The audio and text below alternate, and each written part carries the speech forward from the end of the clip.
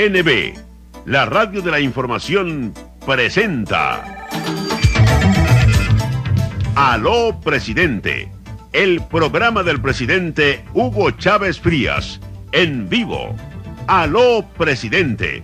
Una transmisión en directo del presidente con su pueblo, atendiendo sus llamadas, respondiendo sus preguntas. Aló, presidente el programa de todos los domingos con señal libre vía satélite Intersat 806 para todas las emisoras del país.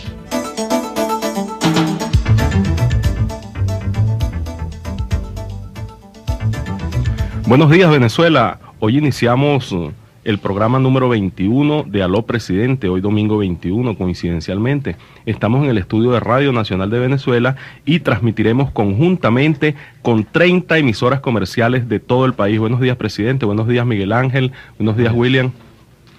Buenos días. Efectivamente, todo esto ha sido posible por el dinámico equipo social que trabaja con el primer mandatario.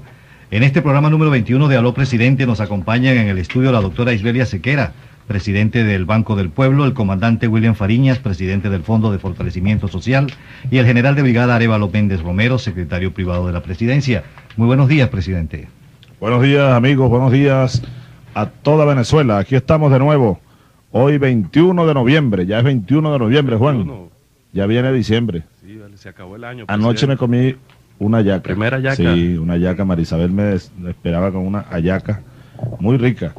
Bueno, espero que todas las familias venezolanas puedan este año probar la exquisita ayaca navideña. 21 de noviembre y es el programa número 21. Jueguense ese número. Habría que jugar. Ah, Miguel Ángel, número 21. Sí, señor.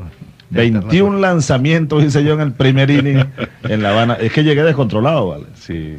Una cosa que realmente a mí poco me pasa, de verdad, toda mi vida de pitcher siempre he sido muy controlado, pero resulta que el montículo allá en La Habana estaba, yo lo notaba muy alto. Luego le pregunté al, al umpire y me dijo, no, es que esa es la altura de grandes ligas, porque en ese mismo estadio jugaron contra los Orioles.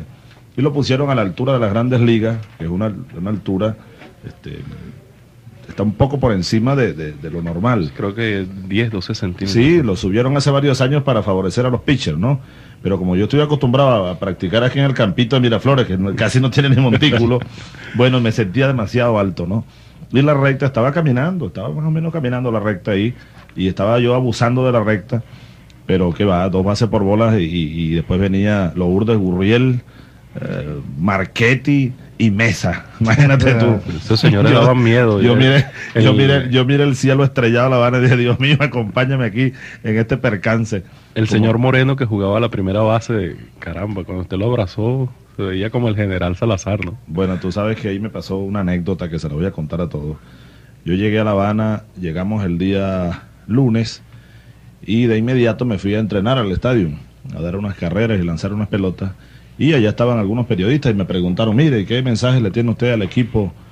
Eh, bueno, entonces yo dije, para darle más expectativa al, al ambiente, que había mucha expectativa, eh, bueno, aquí estoy con la recta y la curva, la rabo cochino, que me traigan a Quindelán si quieren.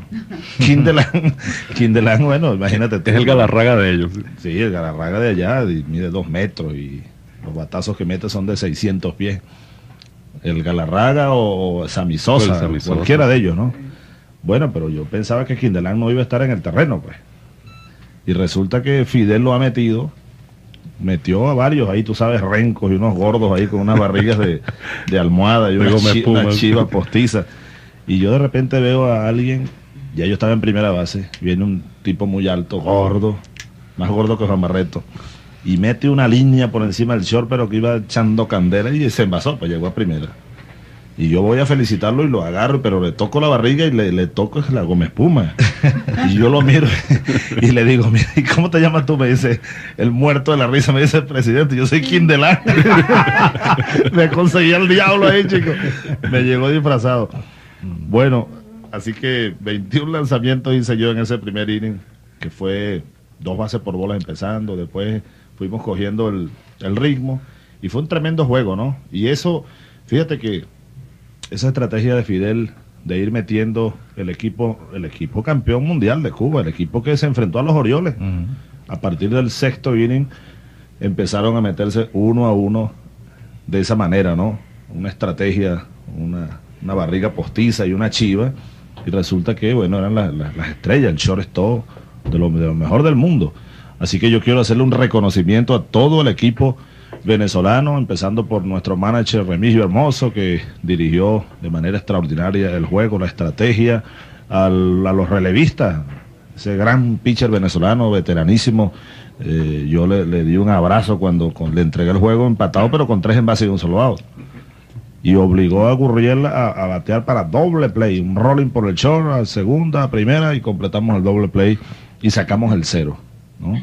me refiero a Luis Peñalver. Luis Peñalver.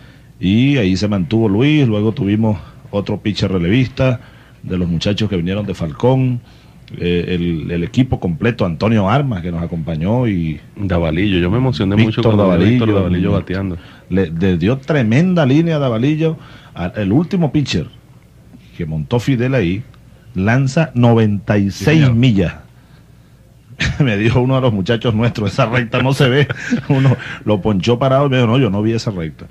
Bueno, eh, Víctor se ha fajado a Valillo con sus 60 años a cuestas con, eh, ¿cómo se llama este pitcher? Eh, creo que Casanova.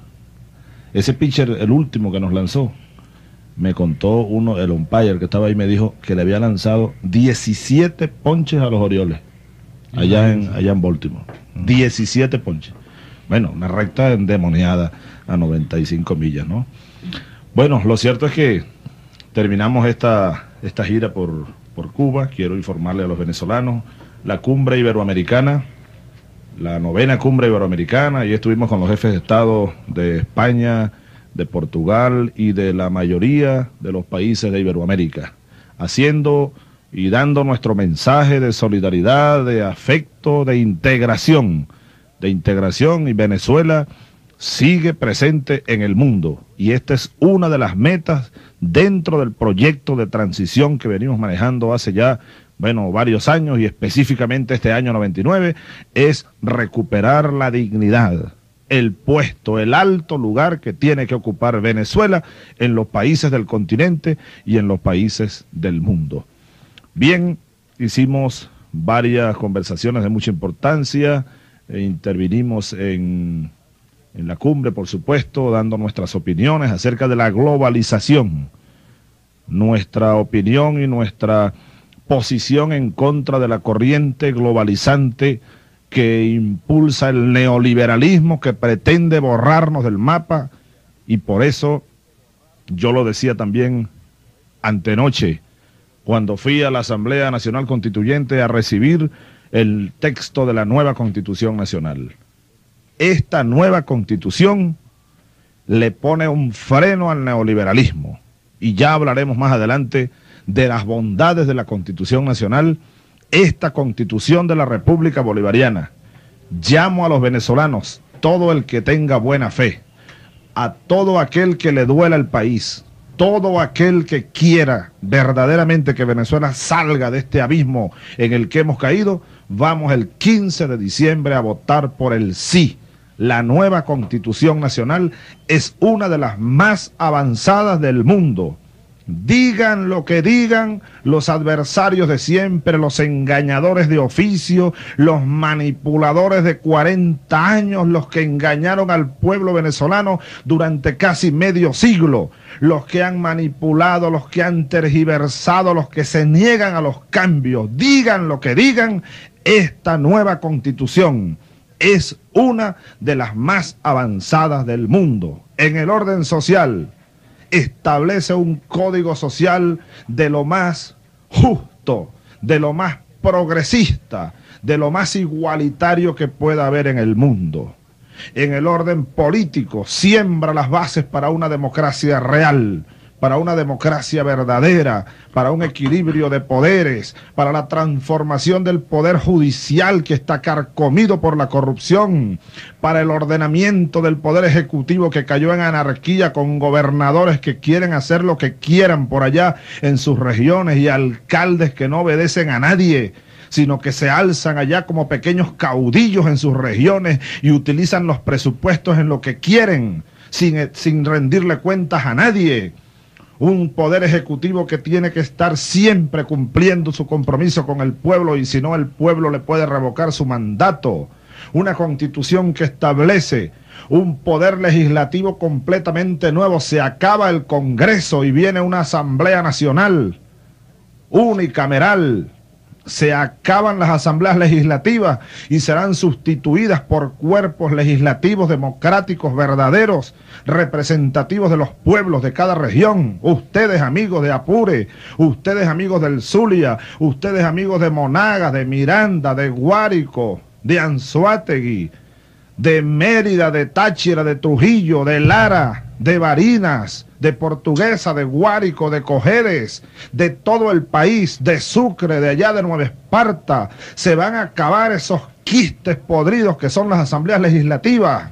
Se va a acabar el Congreso y vamos a crear un nuevo sistema político, una nueva manera de elegir gobernadores, una nueva manera de elegir alcaldes, de elegir presidente. Se establece el periodo presidencial para seis años para gobernadores a cuatro años y la posibilidad de reelección inmediata para el presidente de la República. Un poder ciudadano que es lo mismo que el poder moral que yo propuse para defender los derechos del pueblo, para estar controlando la administración pública y luchar, pero a muerte contra la corrupción. Un poder electoral en ninguna parte del mundo. Eh, óiganlo bien, hermanos de toda Venezuela. En ninguna parte del mundo hay una democracia que tenga los cinco poderes que está ahora insertando en el nuevo modelo la constitución de la República Bolivariana. Y estamos siguiendo la idea de Bolívar. Y por eso la República se llama bolivariana. Aquí tengo la constitución, la nueva constitución que va a ser sin duda aprobada en el referéndum del 15 de diciembre. Fíjense cómo termina. Hoy, por cierto, Juan, ¿dónde está el periódico El Correo del Presidente? Aquí está. El Correo del Presidente en su edición del día de hoy, una tremenda foto con Luis Miquilena firmando allí. ¿Cuántos documentos habrá firmado Luis Miquilena en toda su vida? Caramba, cantidad. ¿Quién sabe cuántas firmas habrá hecho? Bueno, aquí está firmando. Y ahí vemos detrás con cara de ocasión, pues, eh, Aristóbulo y Aristóbulo mirando así como, como fijándose la plana. Isaías, que ese, ese triunvirato, qué gran papel eh, cumplió. Ese trío de venezolanos, qué, qué, gran papel, cómo dirigieron esa asamblea, qué magistralmente, eh, cómo, lo hicieron de magistral.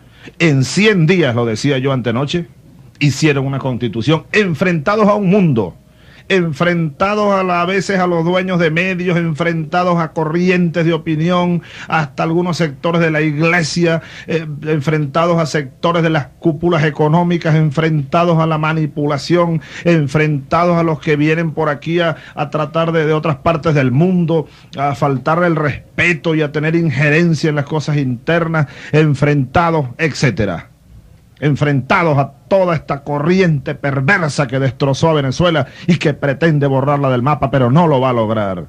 En 100 días se definieron las bases para 100 años, para los próximos 100 años. Yo quiero felicitar también a todos los miembros de la Asamblea Nacional Constituyente y de manera muy especial a don Luis Miquilena, a Isaías Rodríguez, su vicepresidente eh, primero, y al segundo vicepresidente Aristóbulo Isturiz. Bueno, aquí lo que les estaba comentando es que hoy en el correo del presidente está encartado el texto completo, íntegro, de la Constitución de la República Bolivariana de Venezuela. Amiga mía, amigo mío, vaya por un ejemplar, vaya por él sáquele copia.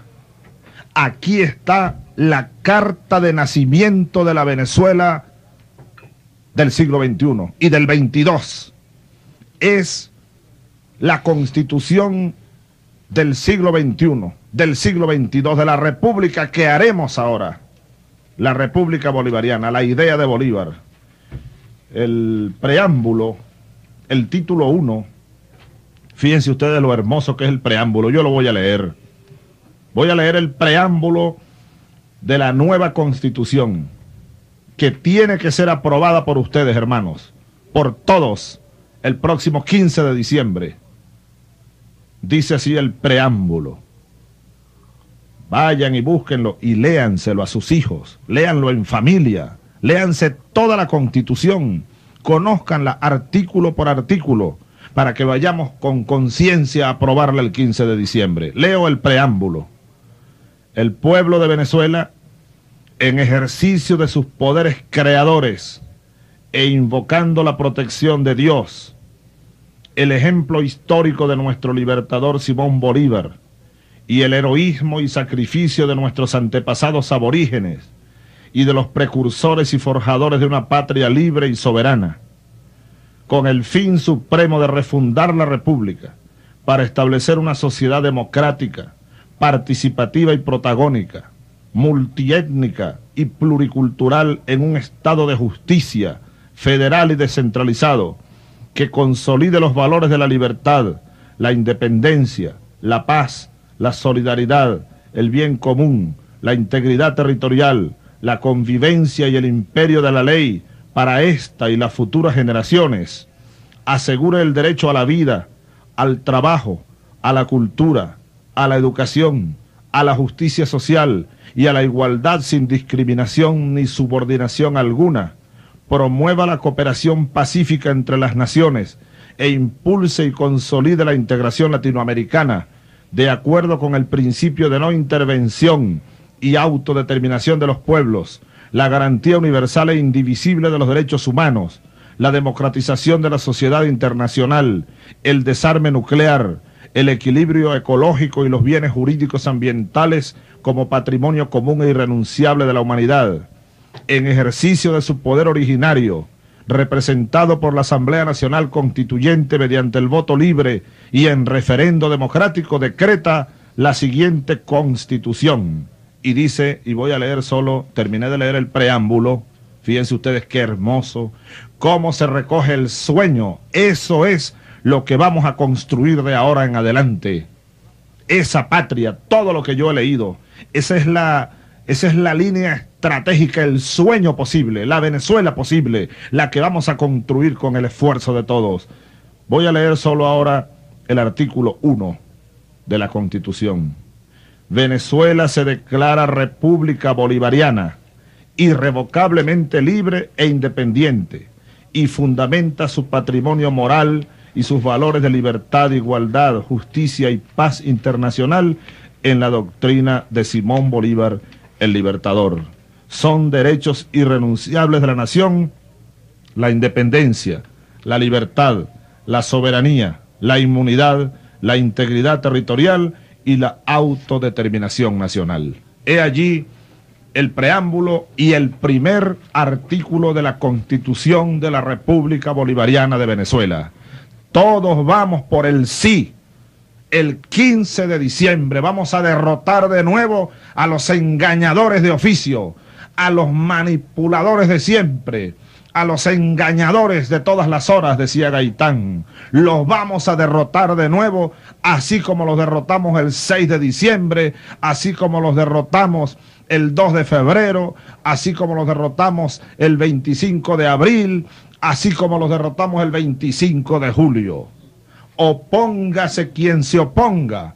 El pueblo heroico, glorioso de Venezuela va a aprobar el 15 de diciembre por mayoría abrumadora. Todos, vaya usted, amigo mío, vaya usted, amiga mía, hable con sus vecinos, hable con su marido, con su esposa, con su novia, con sus hermanos, con sus padres, con sus hijos, con sus nietos, con sus abuelos. Llámelos donde quiera que estén, que estamos definiendo el próximo siglo. Llegó la hora de aprobar la constitución de la República Bolivariana de Venezuela. En las manos del pueblo está el futuro de Venezuela y yo estoy completamente seguro de que el pueblo venezolano va a estar de nuevo, como siempre ha estado, a la altura del compromiso gigantesco de salvar a Venezuela. Así es, y empieza la participación popular en el programa del presidente Hugo Chávez Fría, Aló Presidente. Mirla Méndez, desde Cagua, Estado Aragua, presidente. Mirla, te escucha el presidente. Ajá. Aló, buenos días, Chávez. ¿Cómo está, compatriota? Buenos días, Mirla. ¿Cómo estás? Bueno, estoy muy bien. ¿Cómo te va? ¿Cómo estás tú, Mirla? Bien, aquí en Estado Aragua estaremos por el sí y, y derrotaremos todos los corruptos que hay aquí en Estado Aragua. Bueno, Mira, Chávez, yo dime. tengo un problema hace dos años y medio. Dos ¿verdad? años y medio. Dime, Mirla. Mira, yo invadí una de mechuría. Eso estaba en peor estado. Eso no tenía puerta, ni ventanas, ni techo, ¿verdad? Nada, los vecinos y la asociación de vecinos me ayudaron a lograrme meterme aquí, ¿verdad? Ahora, los corruptos aquí, el concejal Enrique me quiere sacar de mi casa. Después que yo tengo dos años y medio aquí, Chávez, esto no es justo. Yo tengo cinco niños, trabajo en casa de familia gastando, ganando cinco mil bolívares diarios. Y el concejal de aquí, Enrique, me quiere sacar de mi casa.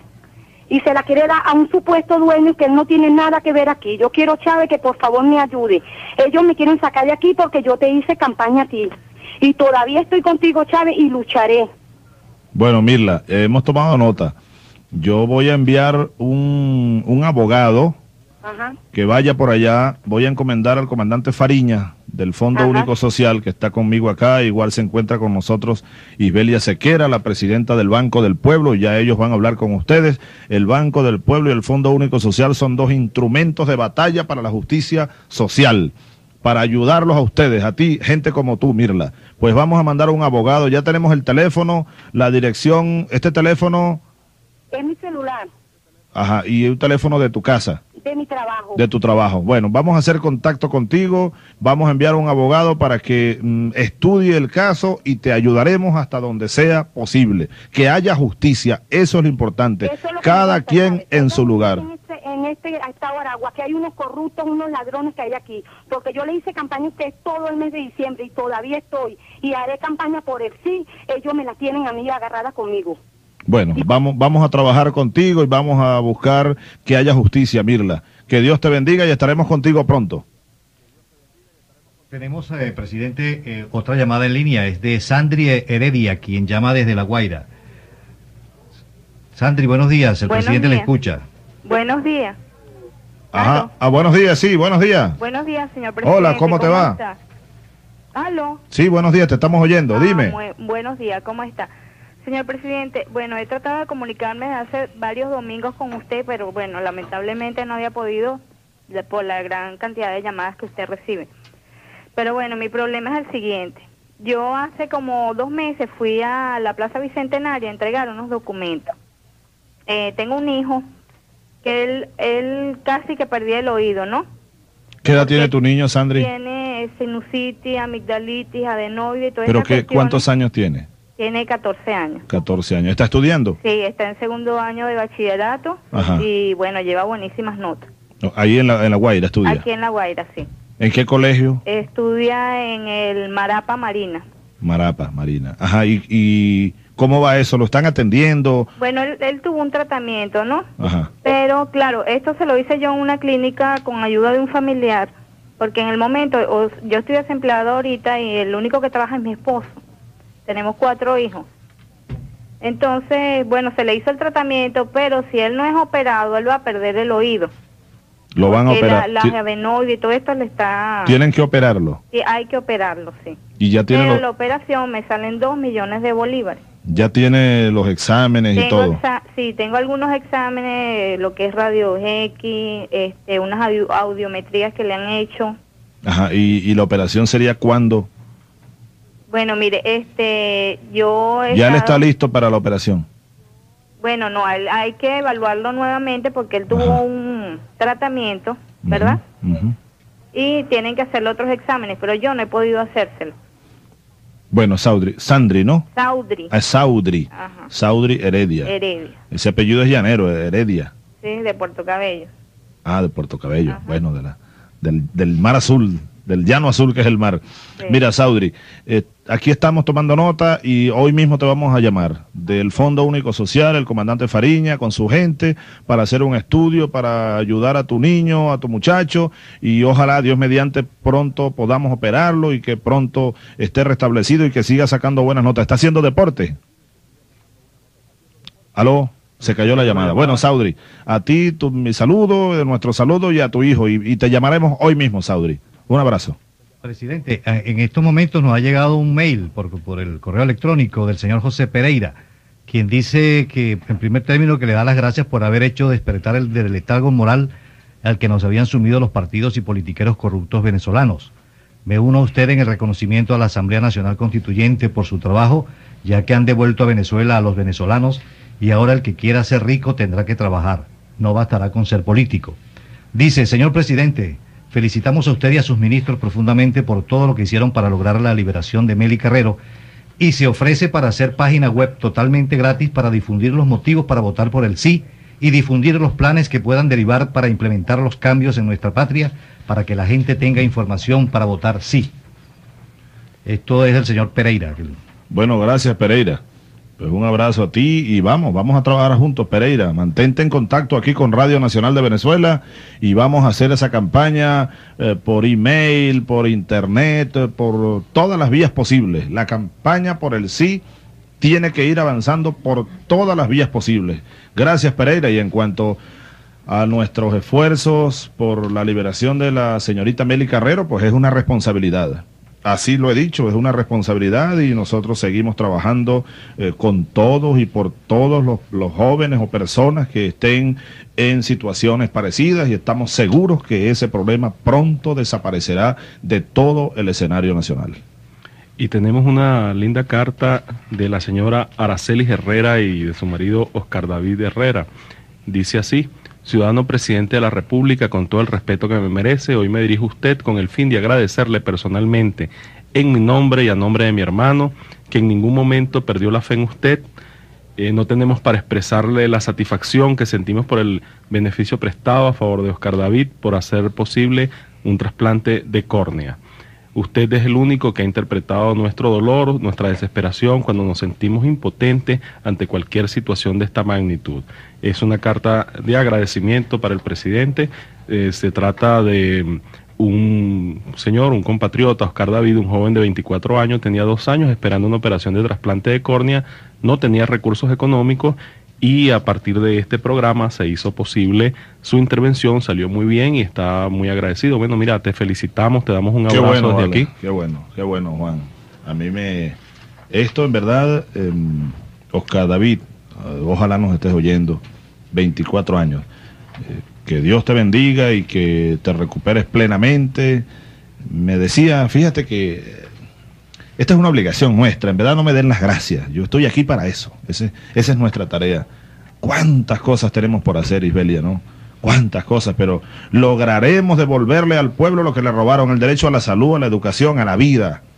Fíjate que allá en Cuba estábamos en un seminario, el presidente Fidel Castro, conmigo, el ministro de Fuerzas Armadas, allá el general Raúl Castro, un grupo de generales cubanos y de generales venezolanos. Estuvieron allá el general Rosendo, el general Cruz el almirante Torcat. Seleccioné un grupo de generales y almirantes de los que están conduciendo el Plan Bolívar 2000, que han hecho una tarea extraordinaria en todo el país, y los llevé a Cuba. Hicimos un seminario que duró todo el día, todo un día. Estuvimos ahí un rato, Fidel y yo, luego nos fuimos a, a otras actividades. Pero estuvimos ahí como dos horas oyendo el intercambio. Y el general Rosendo, que hizo una brillante exposición que impresionó al propio presidente Castro por su sensibilidad social, utilizó una expresión. Dijo Rosendo, hay que verle la cara a un anciano que tenía 10 años sin ver porque no tenía lentes. Y por el solo y hecho sencillo de hacerle un examen, ¿no? Un oftalmólogo, la cosa esta, la medición del desgaste de la vista, unos lentes que no valen más de 100 mil bolívares, se los ponen y la cara, ¿cómo le cambia? Decía Rosendo, ¿cómo le, le cambia la cara a un, a un, anciano que ahora mírate, ve los ojos, ve los colores del mundo, puede ver a sus nietos? Fíjate tú, qué cosa, no, no son los 100 mil bolívares ni es el aparato, es el, es el hombre, es el ser humano, es el niño, es la mujer, es la felicidad que ahora debe tener eh, Oscar David Herrera, de 24 años, ya no tiene esa tormenta de su ojo, del trasplante, de que cuándo, de que con cuánto, de que Dios mío, de que mañana, de que todos los días, de que todas las noches. Entonces, eso es lo que nosotros tenemos que recuperar. Es la felicidad. La felicidad de un ser humano vale tanto, pero tanto, no tiene dimensión. De un niño, de un joven, de un anciano, de una mujer. La felicidad, que viva feliz que viva lo más tranquilo posible. Eso es lo que queremos, en esa dirección vamos y por Dios y mi madre que lo lograremos. Tenemos muchas más llamadas en el programa número 21 de Aló Presidente. Evelyn Oloyola, desde Santa Rosalía, presidente. Te escucha el presidente, Evelyn. Ah. Muy buenos días. Hola, Evelyn, buenos días. Buenos días, señor. Estás muy contenta, Evelyn. ¿Cuál es el, cuál es el chiste que tienes? Lo quiero mucho y lo quería. Ah, que Dios te bendiga, pero tienes un chiste por ahí. no, Mira, ¿tú viste, ¿tú viste el juego de béisbol? Ay, chéverísimo, lo felicito. ¿Qué bueno, sentiste cuando yo comencé dando dos bases por bola? Oh, terror. Tienes que hacerlo bien. Terror en el estadio. El, el que puede. Dime, mi amor. Mire, señor presidente, ante todo, mire, le doy un gran saludo y le dejo sentir mi solidaridad junto con mi familia. Lo queremos mucho, le hemos hecho un seguimiento, bueno, extraordinario, porque somos patriotas como usted. Este, nos duele todo lo que, bueno, lo que está pasando en el país, lo que ha pasado y lo que esperamos que no pase lo malo, todo lo bueno. Mire, este, acá en Santa Rosalía, no, eh, desde el año 79, mi mamá, como es una señora que tiene 11 hijos, ella sufre mucho por los niños. Ella fundó una escuela junto con unos representantes y mi persona que apenas tenía 9 años, este, popular. Esta escuela ha trabajado a nivel popular. nunca hemos tenido ayuda, pero mire, hemos hecho todo el esfuerzo por eh, alfabetizar, dar manualidades, una escuela popular folclórica. ¿Cómo se llama la escuela popular folclórica? Se llama, empezó como grupo folclórica, hoy en día está registrada Escuela Folclórica de Enseñanza Popular Gacela. Ahí mismo en Santa Rosalía. En Santa Rosalía. Esta escuela no tenía local por diligencia con las directoras de la Unidad Escolar Gran Colombia.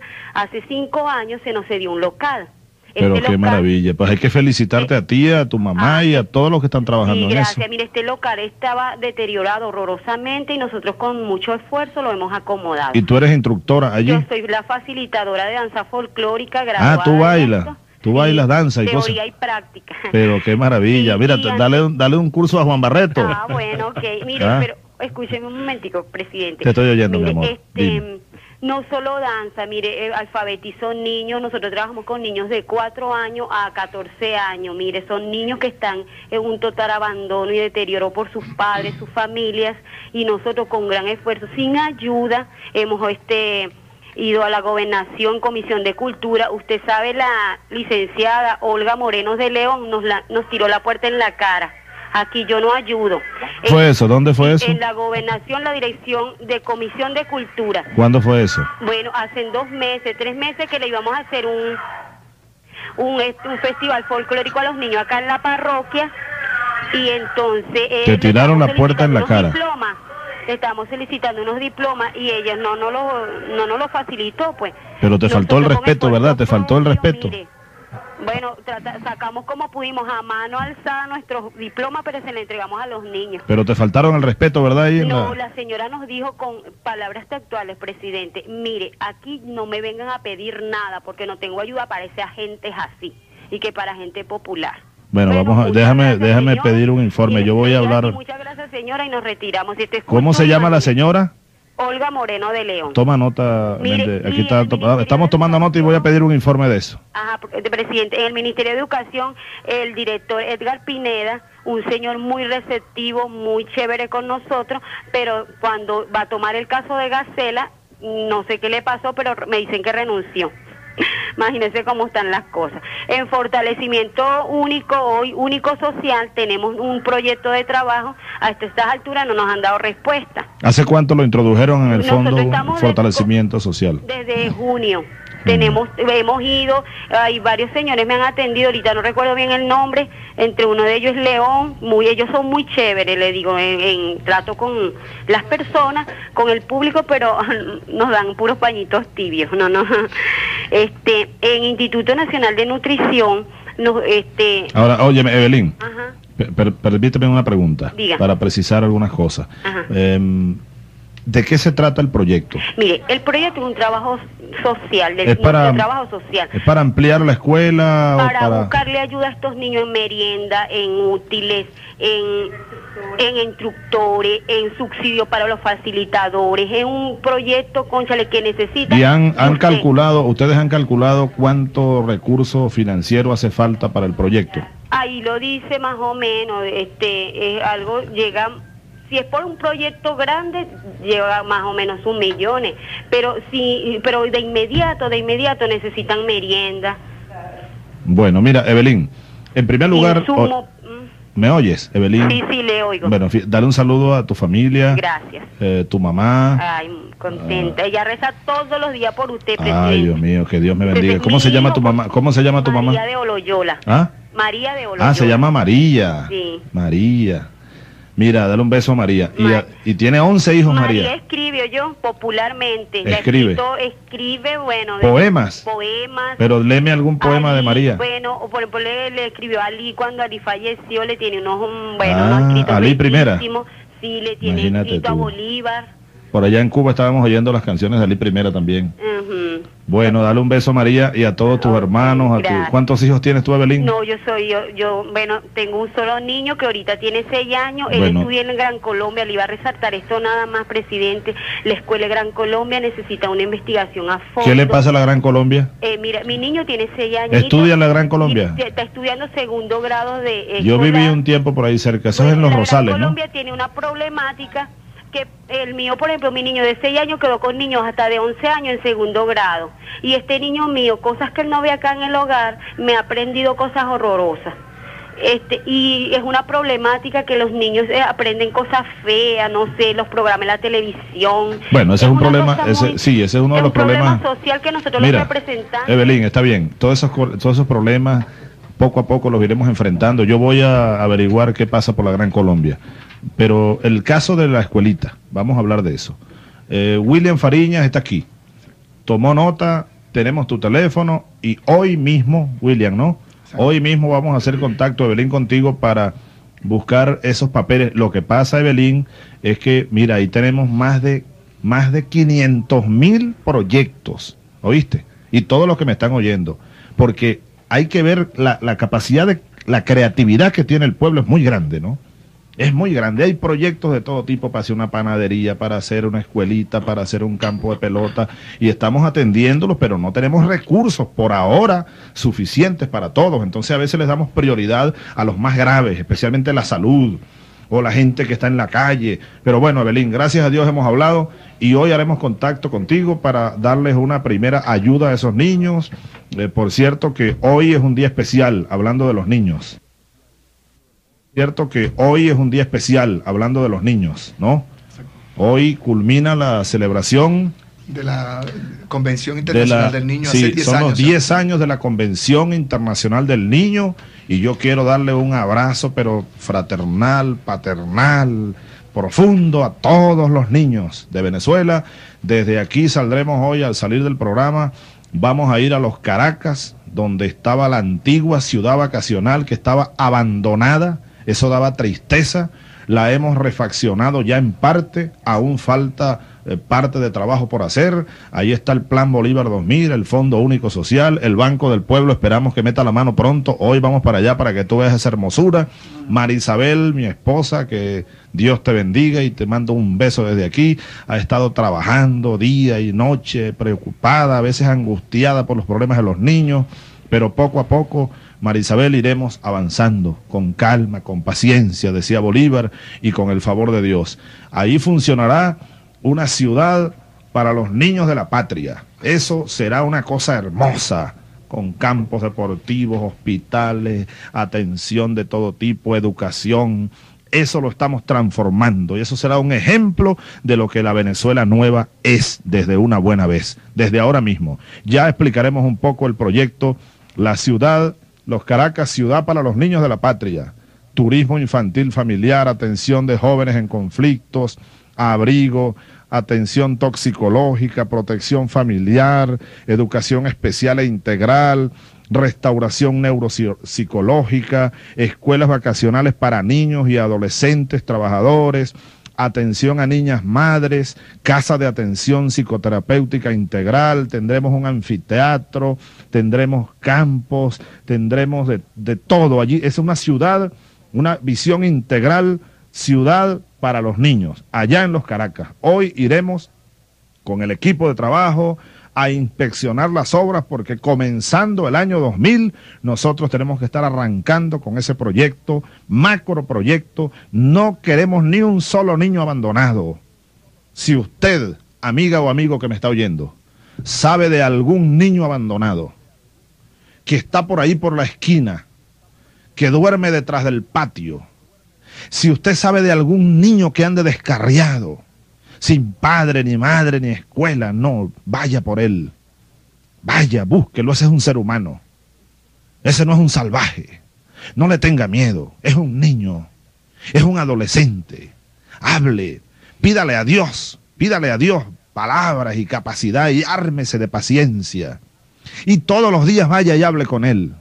Y convénzalo, dígale que Hugo Chávez, este, este niño grande que está aquí hablando ahorita, quiere tenderle la mano, que queremos todos tenderle la mano, que estamos haciendo una ciudad para los niños, para ellos, los que han sido dejados al margen de todo, que van a tener vida, que no van a dormir en las calles, que no van a tener que andar pidiendo a ver qué comen, que no pueden estar oliendo pega, que la vida es hermosa, que, que es lo más maravilloso, que jugar al béisbol es hermoso, que, que correr, que elevar papagayos es muy lindo, que jugar metra y trompo, que tener novia es lindo cuando uno tiene 15 años, que tener un novio cuando es adolescente la muchacha es muy bello, que es muy hermoso escribirle a la novia o al novio, o darle un beso robado en la esquina, que es hermoso ir a fiestas, que es bello después casarse,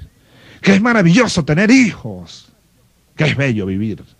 Vaya y dígale y que estamos aquí y que vamos a hacer todo lo que podamos para que vivan todos como tienen que vivir. Ayúdenme, vamos todos. No tiene por qué ver niños en la calle. Así que hoy iremos. Hoy y Venezuela, nosotros tenemos ese compromiso inmenso, vital con nuestros niños, con nuestros jóvenes, con nuestros adolescentes. Adelante, buenos días. buenos días. Buenos días, Rosa. Ah, señor presidente. Hola, Rosa. Usted un fraternal saludo de toda mi familia y este, quiero que sepa que estamos con usted, pendiente de, todo y bueno, lo apoyamos en todo lo que usted haga por el bien de nuestra patria, Venezuela. Gracias, Rosa. Dios te bendiga a ti y tu familia. ¿Estás en Morón? Sí, en Morón, Estado Carabobo. Ajá, ¿y cómo están las cosas en Morón? Bueno, bien, ahí en lo que se puede. Ahí, poco a poco. Sí, poco a poco. Dime, Rosa. Mire, mi problema es el siguiente. Yo soy enfermera auxiliar, trabajé durante 10, este, 15 años y 9 meses en el Hospital Naval de Puerto Cabello y renuncié, bueno, por problemas de salud y hasta esta fecha pues no ha sido posible que me paguen mis prestaciones. ¿Hace cuánto tiempo renunciaste? Hace un año y nueve meses. ¿Y trabajaste cuántos años? 15 años y nueve meses. ¿En el Hospital Naval? En el Hospital Naval de Puerto Cabello. ¿Tú puedes enviarme, tú tienes algún documento que recoja tu currículum, tu cosa? Bueno, yo tengo mi currículum este, aquí hecho porque como ya, claro. Bueno, vamos, vamos a hacer algo. Te vamos a llamar el general Méndez Romero que está aquí a mi lado tomando nota mi secretario privado y gran amigo y compañero de, toda la vida, te va a llamar hoy mismo para gestionar esto. El Hospital Naval entiendo que depende del comando de la Marina. Sí, de, este... de, la base naval de Puerto Cabello. Ah, ahí está mi buen amigo el almirante Torcat, que estaba en Cuba con nosotros. Vamos a arreglarte eso lo más pronto posible, Rosa. Sí, este, sí. Tienes año y medio esperando las prestaciones. Sí, sí, tengo Mira, tiempo. Arevalo, vamos a, vamos a, vamos a lograr que antes de Navidad Rosa tenga su problema resuelto.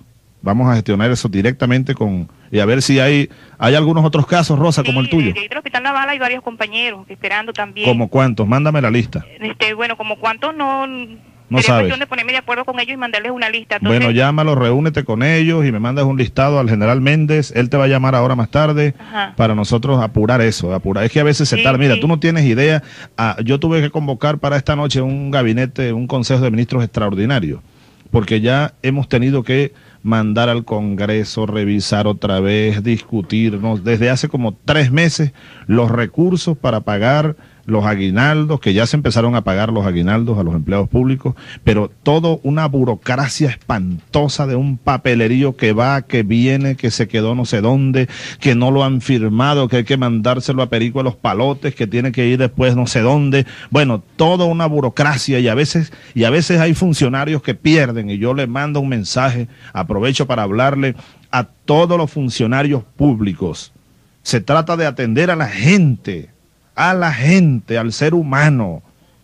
hay que dejar la modorra, esa burocracia pastosa, tenemos que salir de ella y atender los problemas de la gente como el de Rosa Vargas. Así es, seguimos en el programa del presidente de la República, Hugo Chávez Frías, el programa Aló Presidente. Hoy tenemos 30 emisoras enlazadas con el programa número uno de la radiodifusión venezolana y de América Latina. Le damos las gracias y felicitamos a estas emisoras. Es eh, bueno recordar la campaña que venimos desarrollando desde aquí, desde la Radio Nacional. Al frente de la campaña está Teresita Maniglia, nuestra amiga. Hola, Teresita. encuesta de la BBC por el personaje del milenio. El libertador Simón Bolívar continúa en primer lugar en la encuesta que maneja la BBC de Londres.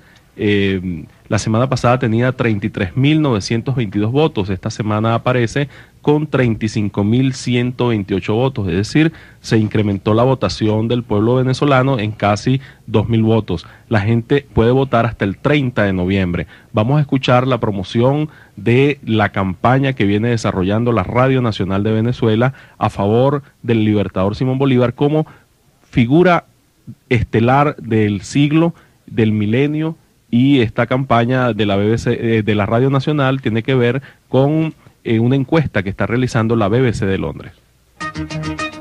RNB, la radio de la información, les invita a participar en la elección del personaje del milenio. La BBC de Londres está haciendo una especie de encuesta, ¿no? Un concurso, mejor dicho, sobre el personaje más relevante del milenio en América. Qué bueno sería que todos nosotros, eh, bueno, votemos por Bolívar. Yo voy a votar por Bolívar. Esta es la dirección electrónica de la BBC de Londres. www.bbc.co.uk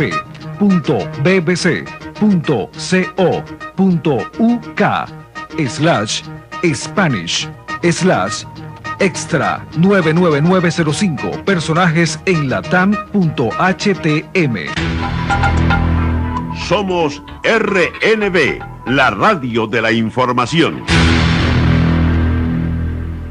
Y seguimos en el programa Aló Presidente. Francisca Garcés, desde Maracay, Estado Aragua. Te escucha el presidente, Francisca. ¿Cómo está usted, presidente? Muy bien, Francisca. ¿Cómo me le va? Kika, te dicen a ti. Ay, sí. Ah. Mire cuánto nosotros lo apreciamos y lo queremos. Ah, mi amor, Dios te bendiga mire, Maracay. Hicimos la campaña, mire, eso era tremendo. Mira, Francisca, tú estás en Maracay, ¿no? Sí, estoy en Maracay, Yo señor sí- presidente, yo pero sí mire, quiero eh, ese tengo pueblo. tiempo por hablar con usted, pero Dime, no mi amor. podido. Dime, mi amor, Mira, te estoy amor, oyendo. este, yo estoy viviendo aquí en un barrio, aquí en el barrio en Regeloy Blanco. Ajá. Ajá, pero tengo una casita que quiero echarle la... que he ido al consejo para que me vendan el terreno y no me lo quieren vender. El Consejo Municipal. Sí, pero yo no, yo tengo que hablar con usted para ver qué es lo que está pasando con estos terrenos porque no me lo quieren vender. ¿Y desde cuándo tú vives ahí? Yo ve, tengo ya como 8 o 10 años. Como ocho, y tienes tus hijos ahí todo. Sí, todos mis hijos y estamos sin trabajo y entonces quería hacerle la plata banda, comprarle el terrenito, hacerle la plata banda y no he podido hacerle nada porque no tengo. Tengo 72 años.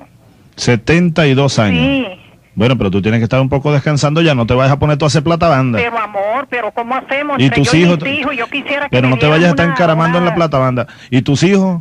Y bueno, ¿No están eh, trabajando? Los hijos están sin trabajo, tengo cuatro sin trabajo, no consiguen. ¿Y qué? ¿Pero qué hacen ellos? ¿Qué Bueno, estudiaron? haciendo ¿Qué aquí saben hacer? tonterita, eh, haciendo comida, vendiendo comida y eso. Yo quería poner aquí un negocito en mi casa, pero... ¿Y por qué no- y por qué no hacemos techo- un- El techo de acerolice está, ya se llueve, ya se moja. Ajá. Entonces quería hacerle la plata banda y no había Mira, cómo hacérsela. mira, Francisca. Ajá, ¿Y si hacemos una, una, una microempresa ahí en tu casa? ajá. ¿Qué podemos hacer ahí? Una, una qué? Una, eh, ¿cómo se llama? Eh, venta de alimentos. Sí, ¿qué? venta de alimentos, ¿Ah? sí, venta de comida y eso, ¿no? ¿Y qué más saben hacer tus hijos? Bueno, una secretaria y no consigue trabajo. Eh, ella está por ir para allá a hablar contigo también, a ver si Secretaria. le consigues algo. ¿Dónde estudió ella? En Maracay. tenía unos realitos que, que vendió un apartamento y, y tenía unos realitos y yo le completé con los reales que me dieron mis hijos para que hiciera la platabanda y comprar el terreno y no sabe que se lo robaron en una inmobiliaria aquí. Pero qué cosa, vale. Quedó sin nada esa criatura Mira. con tres hijos y divorciada y te- la tengo aquí en la casa. Con los tres muchachos. Sí. Ajá. Ay, Dios Mira, y el, el Banco del Pueblo no tiene, no tiene, No, no he ido al Banco del no Pueblo tiene, Maracay no tiene una sucursal. una no. referencia, una... Y el, el Fondo Único, Sí tenemos. en, Maracay. Podemos atender eh, Bueno, pero ven acá, vamos a hacer una cosa. Mira, Kika, ¿me oye? Ah, sí. Mira, vamos, te vamos a visitar eh, mañana mismo. Ajá. Vamos a visitarte para hacerte una cosa que llaman estudio social, una cosa de estas, ¿no? Para entrevistar a tus hijos, a ver qué es lo que saben hacer, a tu hija, los muchachos que vayan todos para la escuela, a ver cuánto podemos darte... Pero espérate un segundo, es que tú hablas muy rápido. Mira, podemos darte, hablas más rápido que yo podemos darte un crédito pequeño para arreglar la casa. No te vayas a encaramar tú en la platabanda, porque tú, yo, yo veo que tú eres así como muy acelerada, ¿no? Poco a poco, no te vayas a estar encaramando allá arriba en la platabanda. ¿Ah? Yo soy igualita. Ah, igualita a mí. Sí, lo único que me falta, mira, yo fui nieta de, de, un, de un general, de un gran general, ¿oíste? ¿Cómo se llamaba tu abuelo? Se Juan Manuel Payares Seija, él era español. Payares. Mira, mira, él, él era, eh, andaba con Guzmán Blanco, era compadre. Ah, con el ilustre americano. Sí. Compadre Guzmán Blanco, imagínate tú, bueno. Tú mira, amor, yo tenía la foto de él y se la di a Erasto Fernández y yo no sé qué me la hicieron y total que, bueno, pero, todavía Pero más que la foto tienes la sangre y el espíritu combativo de tu abuelo Payares. Sí, Que Dios te bendiga a ti y a tus hijos. Pero dile a tus hijos que vamos a combatir por Venezuela también. Mira, vamos a hacer un estudio social contigo allá. Aquí está, nos está oyendo. Te va a hablar William Fariña. Él va a mandar una comisión. Ahí va William. William. Este, compatriota, de verdad que me complace escucharla y ese espíritu de una persona con usted a su edad, de verdad, un espíritu juvenil, un espíritu de, de mucha creatividad y de mucho de mucho trabajo, pues como tiene que ser todo, tenemos que ser todos los venezolanos. Este, pronto, mañana mismo estaremos, señor presidente, estaremos visitándola eh, con el delegado que tenemos del Fondo Único allá en Maracay para hacer un estudio social. En estos casos atendemos eh, todo eh, el grupo familiar, que, cuál es la problemática y se hacen las coordinaciones institucionales que haya que hacer. En el caso, ella está mencionando un problema con el Consejo Municipal. Un terreno, un techo, una bodega, algo. Sí, coordinamos y en torno bueno, a la posibilidad de una microempresa, se dará el estudio y la posibilidad de que desde el Banco del Pueblo, aunque no haya una sucursal allá, podamos tramitarlo desde acá, este, desde Caracas, para apoyar el... Ok, Isbelia, ¿qué nos dices tú de, esa posibilidad? Tú que estás oyendo, esto es todos los domingos y en donde quiera que yo voy, salen las, más que todas las mujeres, las mujeres sí batallan, que Dios las bendiga a todas, ¿no? Los hombres a veces se quedan en retaguardia, fíjate tú. Esta mujer de 75 años batallando por sus hijos, por sus nietos, ya tendrá casi bisnietos. Ahora, Isbelia, dame, una esperancita más de, tantas que tengo, el Banco del Pueblo, para ayudar a un, en este caso, por ejemplo, ¿cuál sería la vía? Bueno, nosotros todavía no hemos llegado a Maracay, pero llegaremos lo más pronto posible, ¿no? Yo creo que por lo pronto tiene que ser a través del, Fondo de Fortalecimiento, Fondo Único Social con William, por ahora, ¿no? Y lo más pronto posible nos pondremos de acuerdo nosotros para estudiar el caso y ver cómo esta gente se convierte en, personas activas de la economía a través de microempresas, que poner a trabajar a todos sus hijos. Que ya parece... Eh, Ajá, pero, pero el caso este, de acuerdo, por ahora va al Fondo Único Social. Ajá. Pero yo digo la tipología, el, caso, el modelo de, este que tú has oído y percibido por radio. El Banco del Pueblo tiene eh, los recursos, los instrumentos, los mecanismos para solucionar casos como este, por ejemplo. En Maracay todavía no. No, pero en cualquier parte. Ponte en Caracas. En pues. Caracas sí, sí claro, ¿Qué, se hace al respecto? Bueno, justamente un asesor nuestro de negocio va a estudiar el caso y a orientarlo y a ver qué tipo de, de microempresa se puede crear, cuánto necesitarían para esa microempresa. Entonces, una vez estudiado el caso, se somete a un comité de crédito que tenemos aquí en el banco y ahí se evalúa y se aprueba y se hacen todas las cosas, bueno, no te olvides que esto es un banco, entonces hay que notariar también, pero en la mayor brevedad posible salen los créditos correspondientes. ¿Cuánto tiempo, si yo estoy, eh, si, si Hugo Chávez tiene una situación dramática como esta y va al Banco del Pueblo o el Banco del Pueblo va a él como también debe ser, ¿En cuánto tiempo más o menos se, consigue el, Lo menos lo menos una semana. Lo menos una semana. Bueno, el Banco del Pueblo, esa es otra vía que está comenzando apenas a funcionar y que dentro de poco tiempo estará irradiado por todo el país. Sigamos adelante. ¿Hay más llamadas? Sí, presidente, tenemos una llamada desde San Cristóbal, Estado Táchira. Es Zoraida Rojas. Buenos días, Zoraida, adelante. Buenos días, presidente. Buenos días, Zoraida. ¿Cómo está San Cristóbal? de maravilla. ¿Aló? Ajá, sí, te estamos oyendo. un poco nerviosa. No, chica, pero ¿qué es eso? Por fin voy a poder hablar con usted. Bueno, ¿cómo está la familia Zoraida? Maravilla. ¿Cómo está San Cristóbal? Tan bonita esa ciudad, ¿vale? Pues sí, bastante bien, gracias a Dios. ¿Está haciendo frío ahora? Sí, Ya va a comenzar el frío de diciembre, ¿no? sí, mire, presidente, yo Dime, quería Zoraida. plantearle dos cositas. Dime. Este, bueno, usted habla de los niños bastante, que es el futuro del país. Yo tengo un niño especial, tengo un niño autista, ¿Qué edad tiene tu niño? 12 años. 12 Está en tratamiento desde que tiene dos años prácticamente. Ajá. Es un niño que gracias a Dios goza de muy buena salud. Pero por su problema de autismo, pues, entonces, este, vamos a tener que internarlo en CEA, Estado Mérida. Pero para eso, pues, nos piden un millón de bolívares de ingreso y aparte de la lista y el derecho a cama y otras cosas, ¿no? No les sabría decir exactamente Y cuánto en sería SEA, dime, Zoraida, en SEA, ¿qué institución funciona ahí en SEA? se llama el CANDIL, Centro de Desarrollo Humano. Ah, pero ¿de quién depende eso? ¿Quién gestiona eso? Eso es una es una institución sin fines de lucro que eh, este, es pagado por los por los mismos representantes. Es una institución muy buena para niños especiales. ¿Y quién dirige eso? ¿Tú no sabes? Eh, la licenciada Isabel, pero no recuerdo exactamente. Bueno, yo, yo averiguo, yo voy a averiguar. Ajá. Entonces ya, claro, este, eso para eso los niños tienen que estar inscritos en el Seguro Social. Ya él tiene todos sus papeles en regla. ¿verdad? Este, él ingresaría ahorita en enero. Y allí les hacen Dios quiere. tratamiento y todo esto. ¿Ah? Ahí les hacen su tratamiento. Exacto, ¿sí? ellos llevan a paseo, o sea, como saldría para nosotros verlo, lo buscaríamos los fines de semana o cada 15 días, Para tú para buscarlo, disfrutar de él pasearlo, esos todo. días, ¿no? Cada 15 días. Pero entonces el ingreso es un millón de bolívares más el derecho a cama y una lista grande que hay que comprarle. No, y que le hace mucha falta a él también que estés tú Sí, eh, lo más cerca posible. Tú sabes que no es lo mismo la madre eh, Sí. que cualquier otra atención. Nunca es claro. igual, y nunca es entonces igual. pues esa es la preocupación de nosotros es el niño y que queremos ingresarlo porque es un sitio bastante bueno. De acuerdo. ¿verdad? De y la acuerdo. otra, la segunda cosita es que yo soy licenciada en educación. Ajá. Tengo cuatro años de graduada y va a empezar ahorita el milenio y yo no tengo empleo. ¿Dónde te graduaste? Yo me, gradué en la Universidad Nacional Abierta en dificultades del aprendizaje. O sea, tú estás preparada para atender niños con para atender niños dificultades especiales, para especiales. docente de aula. Ajá. Y he dado algunas suplencias y tengo mis credenciales. Mira, ¿y las escuelas bolivarianas no llegaron, han llegado por allá? Este, aquí hay una sola. ¿Dónde? En, en la Concordia, la Escuela Alianza. Ajá. Porque ahí, este año hemos, nosotros hemos mm, contratado 13 mil nuevos maestros, porque ahora tú sabes, las escuelas bolivarianas tienen turno completo. Bueno, yo fui a un al cuartel Bolívar a entregar un currículum Ajá. y no pude, no pude realmente entrar a ninguna de esas escuelas. Bueno, porque seguramente Zoraida es la primera fase, Sí, puede ser. pero vamos a avanzar este año que viene a la segunda fase. Bueno, mira, aquí estamos tomando nota eh, para los dos, los dos casos. Ajá. El primero, el, de, el más importante y urgente, el de, tu- el de tu niño. ¿Cómo se llama tu niño? José. José, que Dios lo bendiga. ¿Está por ahí contigo? Sí, aquí cerquita. Dámele un beso de mi parte, de todos los que estamos aquí.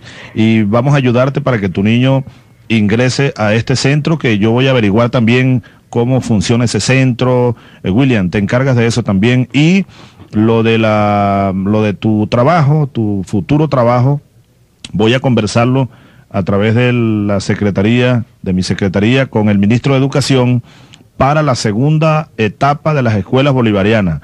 O de repente tenemos suerte, Zoraida, y pudiera faltar algún maestro en alguna escuela por allá en el Táchira, en la escuela bolivariana, y pudieras incorporarte. Yo no sé, William, si tienen algún ustedes algún proyecto especial por el Táchira.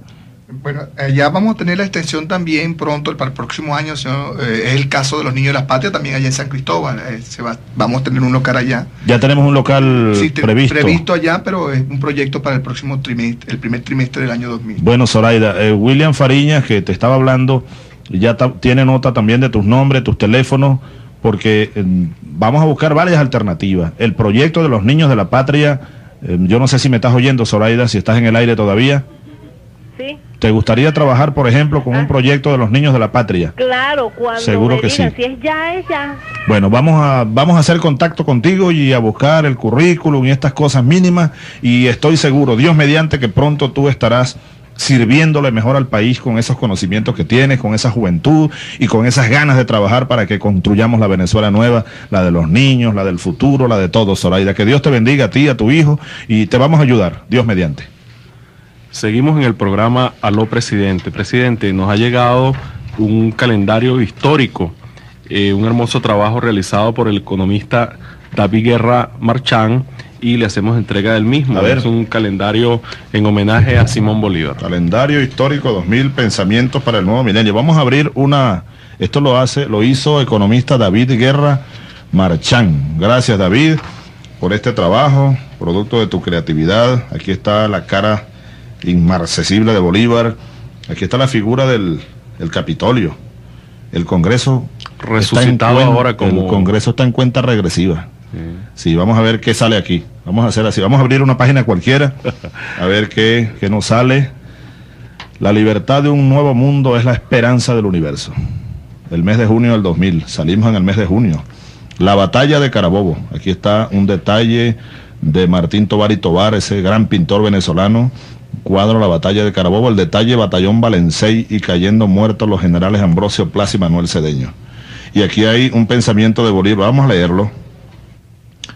Mi impetuosa pasión, mi aspiración mayor es la de llevar el nombre de amante de la libertad. Qué hermoso. Amante de la libertad. Esto, una carta que le escribió Bolívar a Sir Robert Wilson el 16 de junio de 1827. Y aquí hay otro más bello todavía, digo yo. La verdad pura y limpia es el mejor modo de persuadir. Carta al general Rafael Urdaneta. La verdad, por la verdad murió Cristo y por la verdad combatiremos. La verdad. Tenemos otra llamada y luego vamos a entrar en el segundo tema del día.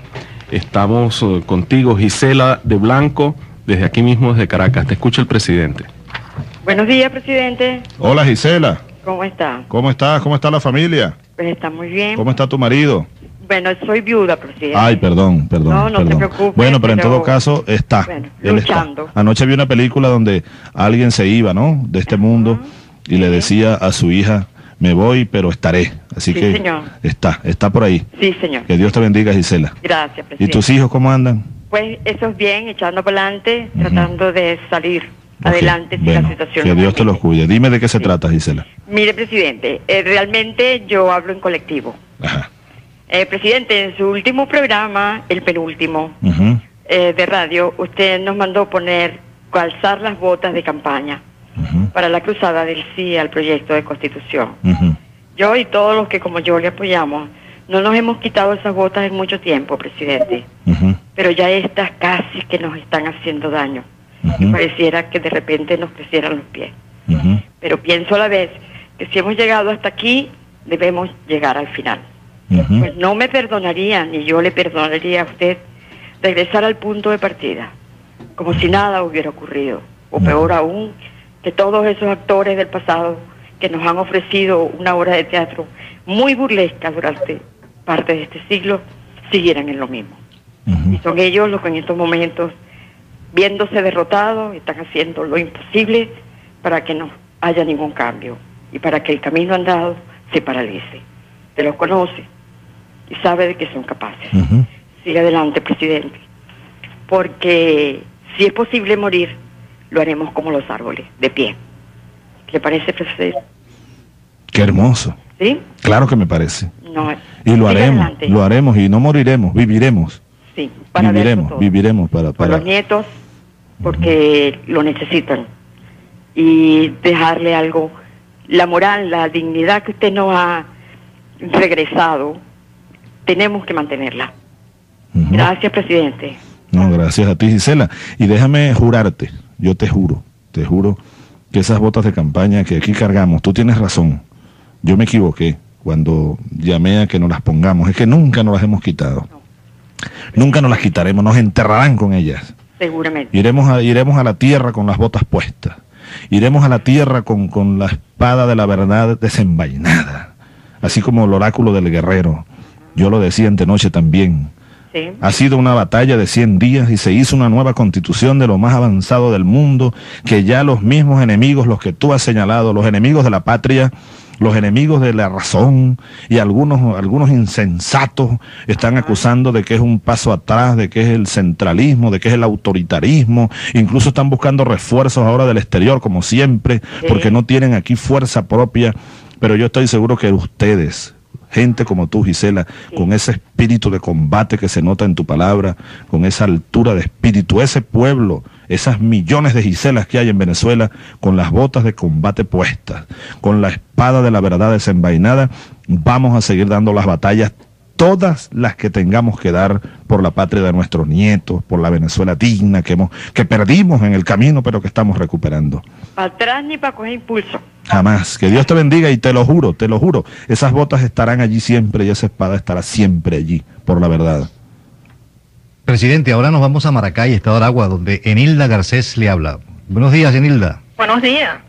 Buenos días, Enilda. Buenos días, ¿cómo está, presidente? Hola, ¿cómo, bien, Enilda, ¿cómo está Maracay? Bueno, con mucha calor. A mucha calor, en Maracay siempre hace calor, ¿vale? Tú sabes que yo viví mucho tiempo en Maracay. Sí. Pero es hermoso, sí, claro, yo ahí, imagínate tú, todo- toda la vida, media vida. Caramba. Ahí me hice paracaidista, ahí me casé la primera vez, ahí nació Rosa Virginia, mi primera hija, ahí fundé el movimiento bolivariano, ahí nos alzamos el 4 de febrero.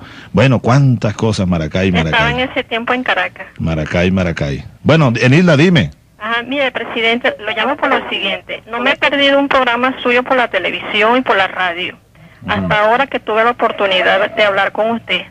Mi problema es el siguiente, presidente. Eh, el año pasado, por el mes de octubre, eh, ¿me está escuchando? Sí, sí, Enilda, te estoy oyendo, dime. Ajá, mire, eh, Por yo el mes de trabajé octubre. en la corporación en Corpo Industria. Trabajé cuatro años. En el, el- por ahí el, el año pasado, en el mes de octubre, yo hice diligencia para comprarme un apartamento eh, de por política habitacional. Yo cotizando, ya tenía ya los tres, tres años. ¿eh? Entonces eh, hice la diligencia para comprarme un apartamento. Eh, una inicial me quitaron de 3 millones. Te quitaron la inicial. 3 millones, una inmobiliaria aquí en Maracay que tiene dos sucursales, se llama Visión Inmobiliaria. Visión inmobiliaria. Inmobiliaria, sí. El gerente se llama Domingo Padrón. Ajá. Ajá. El- La persona, lo- los dueños del apartamento parece ser que se le ha caído ya la venta con, con la mía por segunda vez. Han podido vender, yo no sé qué es lo que pasa. ¿Tú diste la inicial hace cuánto tiempo? Lo di el año pasado por el mes de octubre. A la inmobiliaria A la Visión inmobiliaria. del señor Domingo Padrón. Ajá. ¿Y qué ha pasado? ¿No te quieren vender ahora el Bueno, mi apartamento? amor, mira, pasa lo siguiente. Eh, yo tuve casi ya 20 años eh, en matrimonio con el señor Luis Díaz Álvarez. Este señor no me quiso dejar mi apartamento en Caracas porque hablé con todos los abogados en los tribunales en Caracas y me dijeron que no me podían dejar ese apartamento porque eso fue en unión de nosotros cuando nos casamos. ¿Y qué te dejó él? Bueno, me dijo, oh, mire, ese me hizo la vida de cuadrito, un orientar él.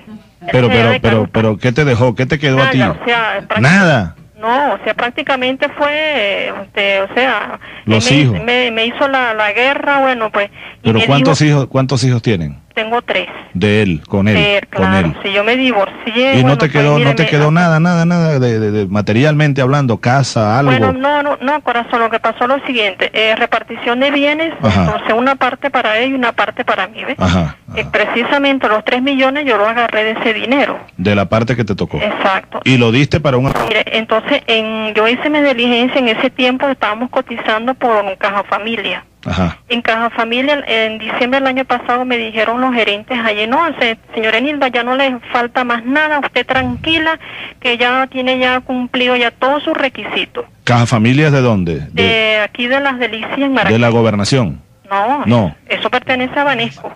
Ah, perdón, ya, ya, ya estoy. Banesco. Ajá. Caja Familia, Caja Fan- ajá. ya. Entonces, Banesco. Ajá. Entonces, a partir de este año, en, el, en el mes de enero, a partir del 12 de enero, me llamaron para avisarme que yo tenía paralizado mi crédito. Entonces, porque no, mm, porque no cumplía, ah, entonces me pusieron dos requisitos para cumplir.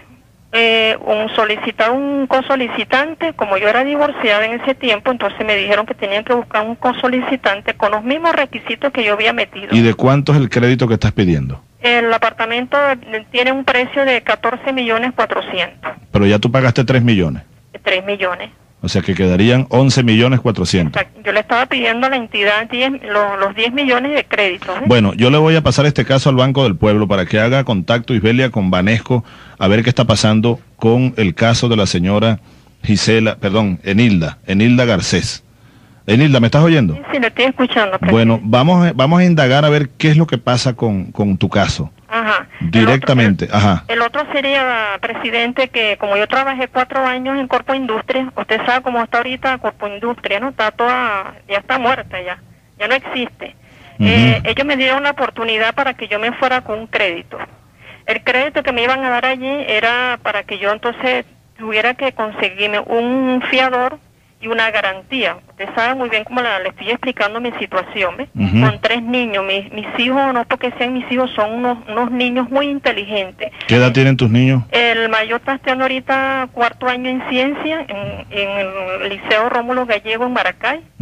La niña está estudiando ahorita quinto grado en el Simón Bolívar, que ese colegio Simón Bolívar, eso está, bueno, pues horriblemente. Horrible. ¿Dónde queda el Simón Bolívar? El Simón Bolívar le queda aquí en la, en la avenida Bermúdez.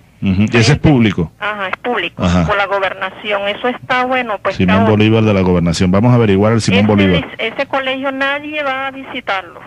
¿Y, la, ¿Y el otro niño? Ajá, el otro niño lo tengo ahorita en el colegio La Fundación, que hay problemas con el director de ese colegio, porque bueno, lo han, le han puesto abogado porque el director es un tracalero y es un de todo. ¿Y ese, pues, ese es privado? Eh, no, ese es de gobierno también. Ajá, anótame Eso ahí. en Avenida Aragua. Avenida Aragua, la Fundación. Bueno, vamos a averiguar esos casos de esas escuelas, porque ese es otro de los graves problemas que tenemos. Ya vamos a hablar un poco de la educación. Pero mira, Enilda, el caso de Corpo Industria, bueno, nosotros decidimos integrar a Corpo Industria y yo aprovecho para darle un saludo a todos los empleados, obreros de Corpo Industria. No vamos a votar a nadie a la calle, pero eso hay que reestructurarlo porque en verdad estaba carcomido. No estaba cumpliendo desde hace muchos años la función que debería cumplir. Y ahora estamos reestructurando todos los entes financieros para apoyar a la pequeña, la mediana industria, la agricultura, etcétera. Pero bueno, ese, ese no es el caso de Enilda. Hay un crédito pendiente, vamos a estudiarlo por el, por el Fondo Único Social, a ver si, eh, me imagino que es que Corpo Industria no ha podido cumplir contigo, Enilda. Vamos a tratar de impulsar ese crédito por otra vía, por la vía del Fondo Único Social, porque en verdad Corpo Industria está ahorita en reestructuración y creo que va a ser muy difícil que ellos puedan cumplir contigo y con las demás solicitudes. Y el caso de tu vivienda, que es un crédito de más peso, vamos a, gestionarlo, Isbelia. Le estoy pidiendo a la doctora Isbelia Sequera, presidenta del Banco del Pueblo, que haga contacto con Banesco que te pida los datos a ti primero, aquí están los teléfonos Isbelia de Nilda Garcés, para ver qué pasa con tu crédito, para, para apurarlo y yo mm, te pido Isbelia que me deje un informe de esto esta misma semana, a ver cómo ayudamos, ojalá esta señora Enilda Garcés, sus hijos, su familia puedan pasar una Navidad más tranquila. Eh, ojalá tengan su crédito ya cumplido. Mira, dio tres millones, lo que le quedó del marido ese que tuvo, que, como ella dice, le, le hizo la vida, ¿cómo es? A cuadritos, dijo. De cuadritos, bueno, qué cosa. Pero bueno, Enilda, que Dios te bendiga a ti, a tus muchachos, y aquí vamos, que Dios nos ayude para poder ayudarte, ¿ah?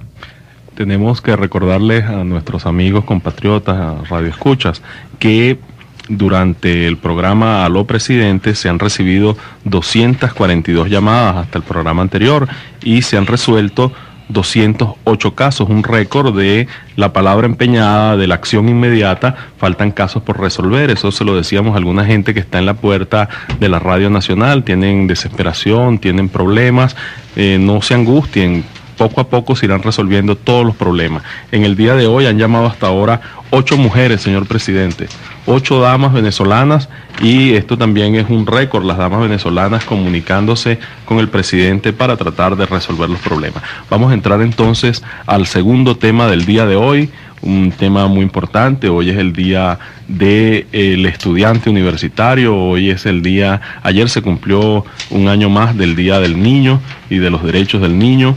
Hay varias cosas, varios temas que tenemos que referir en este programa. También a los amigos de asociaciones de vecinos, organizaciones no gubernamentales, eh, militantes de organizaciones del Polo Patriótico, tenemos que informarles que el correo del presidente junto con la Asamblea Nacional Constituyente eh, suscribió un convenio y desde el día lunes en el Palacio Legislativo Federal Legislativo estarán 500 mil ejemplares de la nueva constitución que ustedes pueden ir a retirar con una carta donde conste que, a qué grupo pertenecen, qué personas se van a repartir ordenadamente de manera que todos los venezolanos puedan tener en sus manos este proyecto de constitución de la República Bolivariana de Venezuela. Presidente, tiene la palabra para su segundo tema. Bueno, parece que llegó la hora del plomo. ¿no? Y a algunos periodistas no le gustó la verdad. No le gustó y al monseñor, según vi en prensa, al monseñor Baltasar Porra, Baltasar Porra y que no le gustó la hora del plomo. Yo, yo le pido, écheme la bendición, monseñor. No le voy a echar plomo a usted. Vamos a lanzarle una flor a monseñor Baltasar Porra. Podemos cambiar el nombre, la hora de las flores.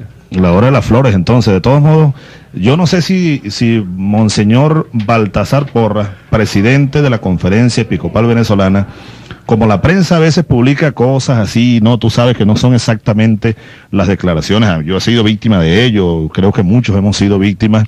De repente nos malinterpretan o hay una frase que, etcétera. Ustedes saben a lo que me estoy refiriendo perfectamente.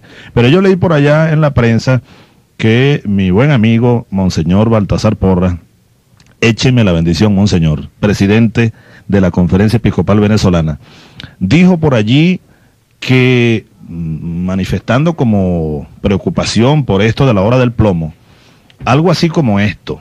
Lástima que no tengo aquí el recorte de prensa, pero yo lo leí y lo interpreté de esta manera. Y como estamos en libertad de expresión, pues vamos a, utilizar esa libertad de expresión, Monseñor.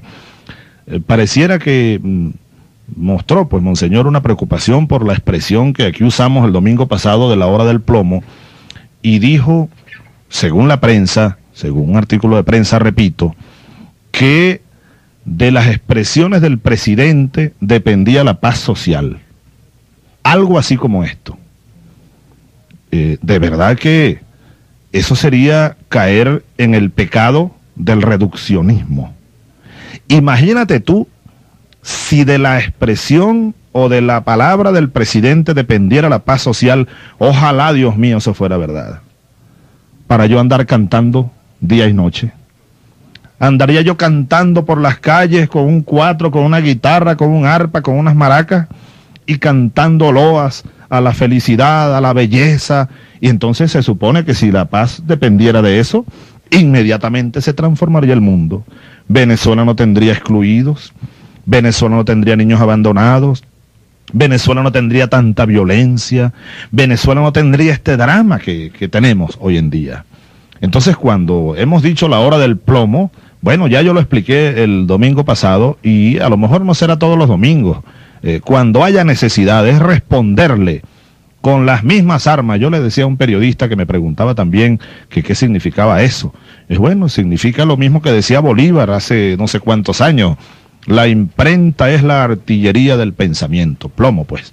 El plomo del pensamiento, las ideas las ideas que van, las ideas que vienen en una especie de combate. Ese es un combate, el combate ideológico, el combate por la verdad, la libertad de expresión, que viva. Así que es el debate público, a eso me refiero eh, cuando dije esa expresión. En todo caso, es para aclararle por si acaso tiene alguna, alguna duda, mi buen amigo, el monseñor em, Baltasar Porras. Bueno, fíjate, segundo tema del día, vamos a tomar algunos temas. Primero que nada, yo creo que el más importante es que hoy es el Día del Estudiante Universitario. Y yo quiero aprovechar esto para enviarle un, saludo comprometido y un llamado a todos los estudiantes universitarios de Venezuela. Y felicitaciones en su día. Este día tenemos que recordar que 21 eh, de noviembre se conmemora la fecha aquella en la cual los estudiantes iniciaron una huelga contra el régimen de Pérez Jiménez. Y en esa ocasión la Universidad Central de Venezuela, la tan famosa UCB, fue allanada con tanques incluso. Por eso ese día de resistencia, de lucha, se instituyó en Venezuela 21 de noviembre el Día del Estudiante Universitario. y yo quiero ratificar nuestro compromiso con, cuando uno habla de la educación superior, cuando uno habla de las universidades, realmente la universidad es un, instrumento. El objetivo sigue siendo el joven, el muchacho, la muchacha, que reciban educación de calidad. Por cierto que la nueva constitución, muchachos de Venezuela, ese inmenso ejército que conforman todos los estudiantes universitarios de Venezuela. Yo tengo dos hijas, Rosa Virginia y María Gabriela, estudiando en la UU, UCB. Allá están estudiando, haciendo estudios internacionales, relaciones internacionales. Se la pasan estudiando economía. No les gusta la economía, chicos. Hace poco llegué, como siempre, pues tarde a la casa. Tarde, digo yo, a la medianoche. No, no es tarde ni es temprano. Para mí no hay hora, para nosotros no hay hora. Pero llegué a esa hora de la noche y yo siempre paso por los cuartos de ellos, pues aunque sea darle un beso, si están despiertos, saludarlos un ratito. Y no veo ni a Rosa ni a María en su cuartito allá. Y me dice una de las camareras, no, que están estudiando. Y llego a, su salón de estudio y estaba un muchacho más o menos del tipo de Juan Barreto, así fornido. Dos sillas. explicándoles economía. Y me siento yo un ratito allí y veo la cara de Rosa Virginia y me dice, es que no me gusta la economía, papá. y María, María le gusta un poquito más la economía, ¿no? Estaban estudiando las cosas de, las variables macroeconómicas, que esa cosa se pone a veces bien, eh, ¿verdad?, fastidiosa, ¿no? Cuando se estudia en teoría nada más, eh, pero, pero que tiene mucha importancia. Bueno, así que mis dos hijas mayores, porque Rosiné ahora está en kinder, se la pasa en kinder ahora, parece que no la aguantan mucho en el kinder. sí, este, están allí estudiando Rosa Virginia, María Gabriela. Con ellas, miles y miles, como ellas, de estudiantes universitarios de Venezuela.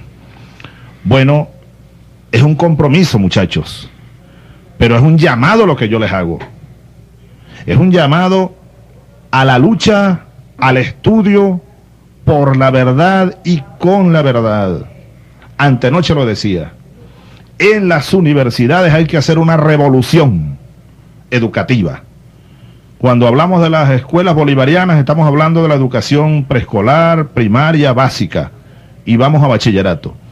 Pero en las universidades hay que hacer un gran esfuerzo y quién es mejor que los estudiantes universitarios para levantar las banderas de la dignidad, de la verdad, de la transparencia en las universidades, la autonomía universitaria que viva, sí, la defenderemos, la fortaleceremos, la cuidaremos junto a ustedes. Pero eso no puede servir de máscara para que detrás de la autonomía universitaria se esconda la corrupción, la incapacidad, la falta de gerencia, la malversación de recursos, este año hemos hecho un inmenso esfuerzo a pesar de la crisis fiscal para reconocer deudas al mundo universitario con la aspiración de que todo eso que estamos reconociendo, deudas acumuladas a profesores, a instalaciones, etcétera, pasivos laborales, vaya en beneficio de la educación, que cada día haya mayor espacio para los jóvenes. Hay muchos jóvenes sin cupo por allí. Todo joven tiene derecho a educación superior, universidades, institutos politécnicos, pedagógicos, escuelas técnicas y además educación de calidad. A los estudiantes universitarios de toda Venezuela a que iniciemos por dentro de las universidades un proceso revolucionario, moral, una revolución espiritual, moral, ética, para poner las cosas en su sitio yo voy a hacer un resumen de algunas cosas con el saludo a los estudiantes universitarios de Venezuela y a todos los que con ellos conviven, los profesores universitarios, los empleados de las universidades, los obreros de las universidades, pero por supuesto que el estudiantado es el corazón de lo que es la universidad venezolana. La universidad hay que transformarla, porque la universidad es el centro de luces de este mundo nuestro. De allí deben surgir las mentes más brillantes, más capacitadas, con mayor calidad y capacidad moral para la lucha, para la transformación del país. Ustedes son un gran ejército, muchachos. Fórjense, así como se forja el acero. Prepárense no solo desde el punto de vista técnico, científico, sino humano, moral, ético, para luchar por los demás. Ustedes son los portadores de la antorcha bolivariana de la nueva Venezuela. Llamo al estudiantado venezolano a que se organice cada día mejor, a que se una cada día más. Saludo a los dirigentes universitarios que luchan por la verdad, no a los que manipulan, no al partidismo que se infiltró también en las universidades y ha dividido el movimiento estudiantil por todas partes. Reconozco el esfuerzo de los dirigentes estudiantiles que ahora mismo en toda Venezuela luchan por la unidad del movimiento estudiantil, por la dignificación del movimiento estudiantil universitario. Yo me cuento entre ustedes, cuenten conmigo, pero quiero mirar en los próximos años un movimiento estudiantil unificado que luche no siguiendo directrices de cúpulas de partidos políticos, que luche por su dignidad, que luche por los derechos del estudiantado, que aporte al desarrollo del país antes de salir de la universidad, que se incorporen por todas partes como se han venido incorporando. Allá en la Universidad de los Andes me consta, lo he visto. Aquí en la Universidad Central me consta, lo he visto estudiantes junto a los soldados en el Plan Bolívar 2000, refaccionando su propia universidad, sus residencias estudiantiles y vamos a seguir trabajando cada día más juntos por la educación, por la alfabetización, por elevar la dignidad de los niños, la atención de los niños de la calle. Los estudiantes de medicina me los he conseguido por allá en el Alto Orinoco hace dos semanas, de varias universidades junto a los soldados y oficiales, junto a los médicos, junto a los indígenas. Los estudiantes de economía no se dejen llevar por la corriente del neoliberalismo salvaje. Los estudiantes de las ciencias busquen la razón de la ciencia útil para transformar la sociedad la sociología para interpretar los males de la sociedad y buscar su solución. Los estudiantes de biología, de medicina, de las ciencias todas, de la filosofía, todo eso tiene utilidad para lo que estamos viviendo y sobre todo para transformar a Venezuela, para impulsar la revolución pacífica que estamos impulsando. Ustedes estudiantes universitarios son el alma de la Venezuela futura. Agarren la antorcha y levántenla con dignidad unidos. No se dejen manipular, no se dejen tergiversar la realidad. Vamos todos, llegó la hora de la unión del movimiento estudiantil, yo me presto para ello.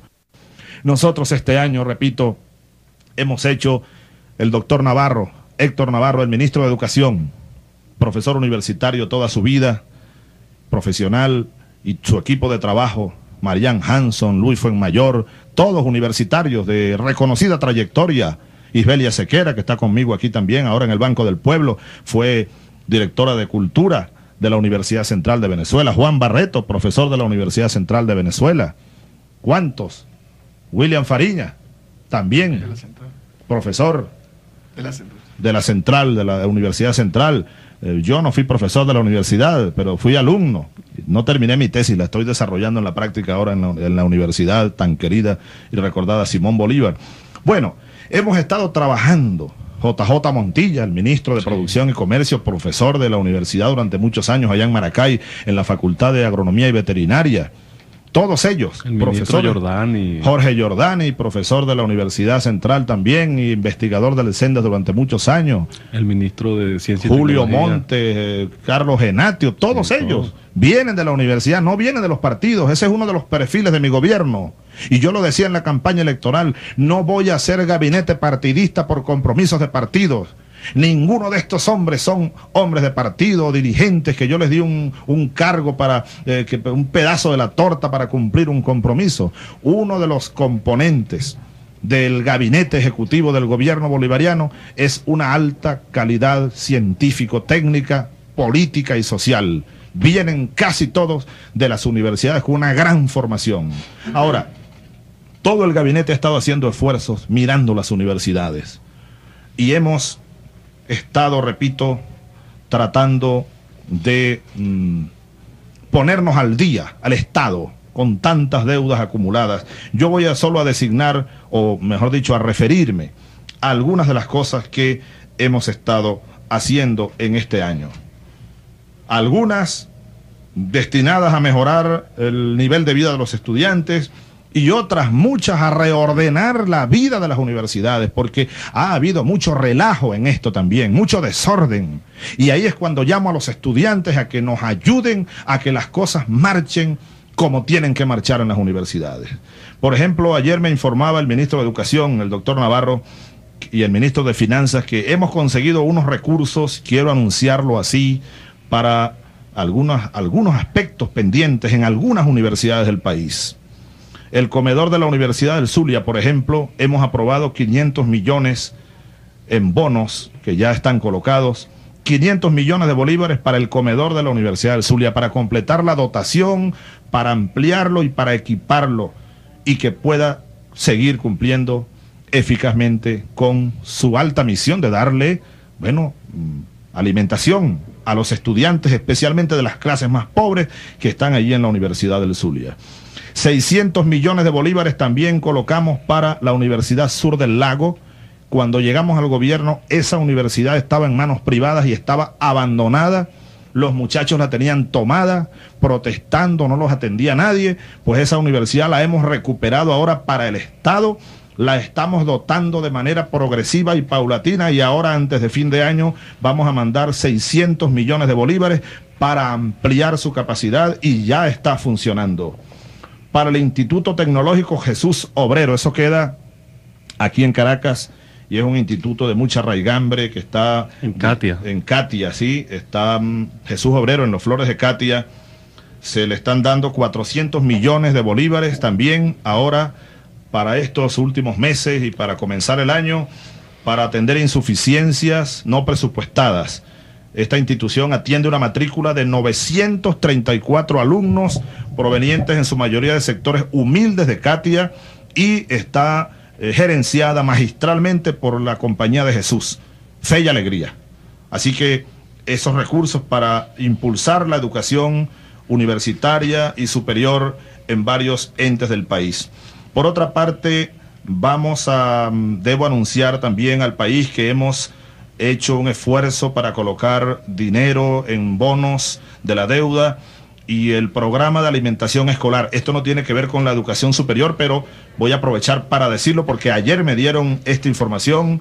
Antes de irme a Cuba teníamos el problema de falta de recursos, pero ya los hemos colocado y 8 millardos se han completado eh, de unos fondos de la privatización de la CanTV, en un fideicomiso entre Funda Escolar, Ministerio de Finanzas, para el programa de alimentación escolar. Yo puedo decir hoy ya que hemos garantizado los recursos para la alimentación, este programa tan importante de los niños en las escuelas, hasta fin de año, porque los recursos que había no alcanzaban. Y yo quiero ratificarle esto a los venezolanos. Nosotros recibimos un gobierno quebrado, un Estado quebrado. El presupuesto de este año era reconducido y fue reducido, no alcanzaba para cubrir todos los gastos de educación, de salud, de los empleados. Ya comenzamos a pagar los aguinaldos. Di las instrucciones para que antes de la primera semana de diciembre se paguen los aguinaldos. Ya me informaron ayer y eso me causó una tranquilidad espiritual muy grande que se ha comenzado a pagar los aguinaldos de dos meses de salario para los empleados públicos en todo el país.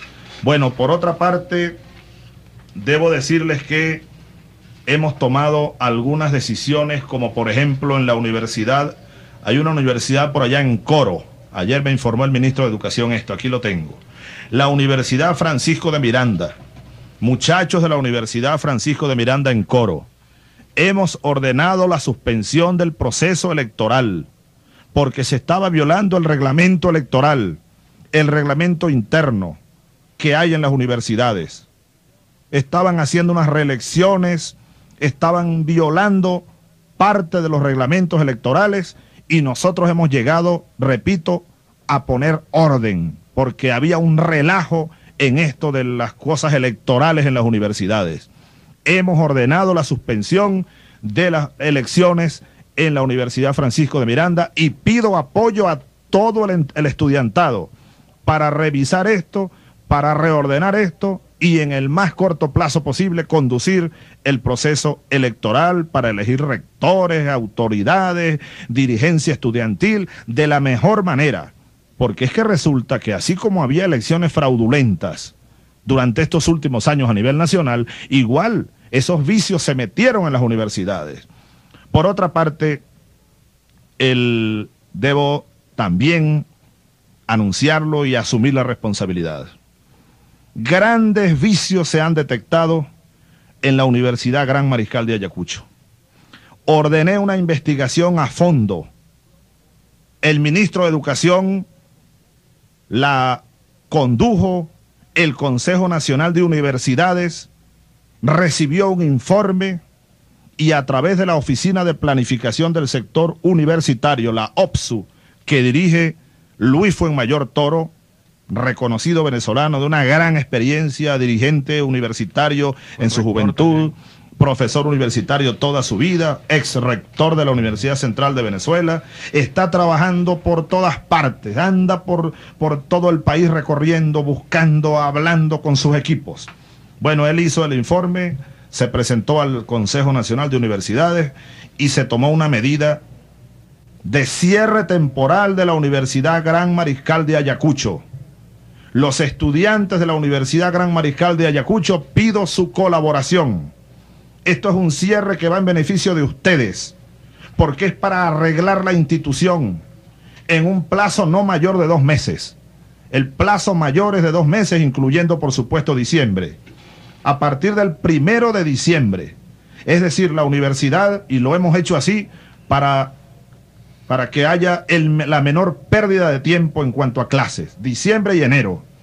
Vamos a reestructurar, a arreglar una serie de vicios, los procedimientos que se requieren para ponerse a derecho. La decisión la tomó el Consejo Nacional de Universidades, que es una institución autónoma, pero el gobierno nacional apoya la decisión del Consejo Nacional de Universidades y pide el apoyo de todo el profesorado, de todos los empleados, trabajadores y estudiantes de la Universidad Gran Mariscal de Ayacucho para que lo más pronto posible arranque de nuevo y eso sí, en orden y cumpliendo con todos los procedimientos. Tenemos otros casos de lo que ha sido la corrupción, la ineficacia, la degeneración que se introdujo en el sector universitario. El caso del Instituto Universitario Santiago Mariño igual el Instituto eh, Tecnológico Isaac Newton. Donde quiera que yo voy, hasta en Macuro, me conseguí estudiantes del Santiago Mariño con sus pancartas, protestando, pidiendo justicia, denunciando que han sido robados, que les, les, han quitado no sé cuánto dinero, que ahora no les dan los títulos, que la educación es de muy mala calidad. Y tienen razón esos estudiantes. Desde el comienzo les dije, el gobierno va acciones drásticas en estos casos, porque en verdad son demasiadas los, demasiados los vicios que se han apoderado del sector de la educación superior en Venezuela. Y esa educación privada, y por eso la nueva constitución, muchachos universitarios, yo los llamo al sí a todos, porque la nueva constitución establece la gratuidad de la educación universitaria, por una parte, que querían privatizarla. Si nosotros no estuviéramos aquí en este gobierno, bloqueando la ola neoliberal, ya hubieran privatizado la educación superior. Tenemos que restituirla de alta calidad y con gratuidad. La educación privada que siga funcionando. Pero eso sí, tiene que estar regulada por el Estado. La educación no puede dejarse al libre albedrío como si fuera una simple empresa. No, la educación es algo grandioso y sagrado para un pueblo. Lo decía Bolívar, las naciones marchan hacia su grandeza con el mismo paso con que camina su educación. Entonces, la educación privada tiene que ponerse los pantalones, tenemos que regularla, tenemos que reglamentarla, porque es una responsabilidad del Estado velar por la educación de todos, sea pública o sea privada. No podemos permitir, por ejemplo, que a los muchachos que van a la educación privada les cobren unas tasas o, mejor dicho, unas, eh, unas cuotas tan altas que los estén explotando a sus familiares. Y además esa educación debe estar, debe tener alta calidad y debe cumplir con los requisitos mínimos, máximos más bien diría yo. Y las instalaciones de las universidades o institutos tecnológicos privados deben tener todas todos los recursos deben estar adecuadas para cumplir con su altísima misión, es decir, aulas de clase adecuadas, laboratorios, eh, profesores graduados, etcétera, para que los títulos que emitan tengan legalidad y tengan la calidad que necesita el país. La educación es fundamental para la revolución. Así que el Instituto Universitario Santiago Marillo, yo incluso he pedido que se abra un juicio respectivo. Así lo dije antenoche y lo ratifico. Se han tomado las siguientes medidas en el caso muchachos del Instituto Santiago Mariño.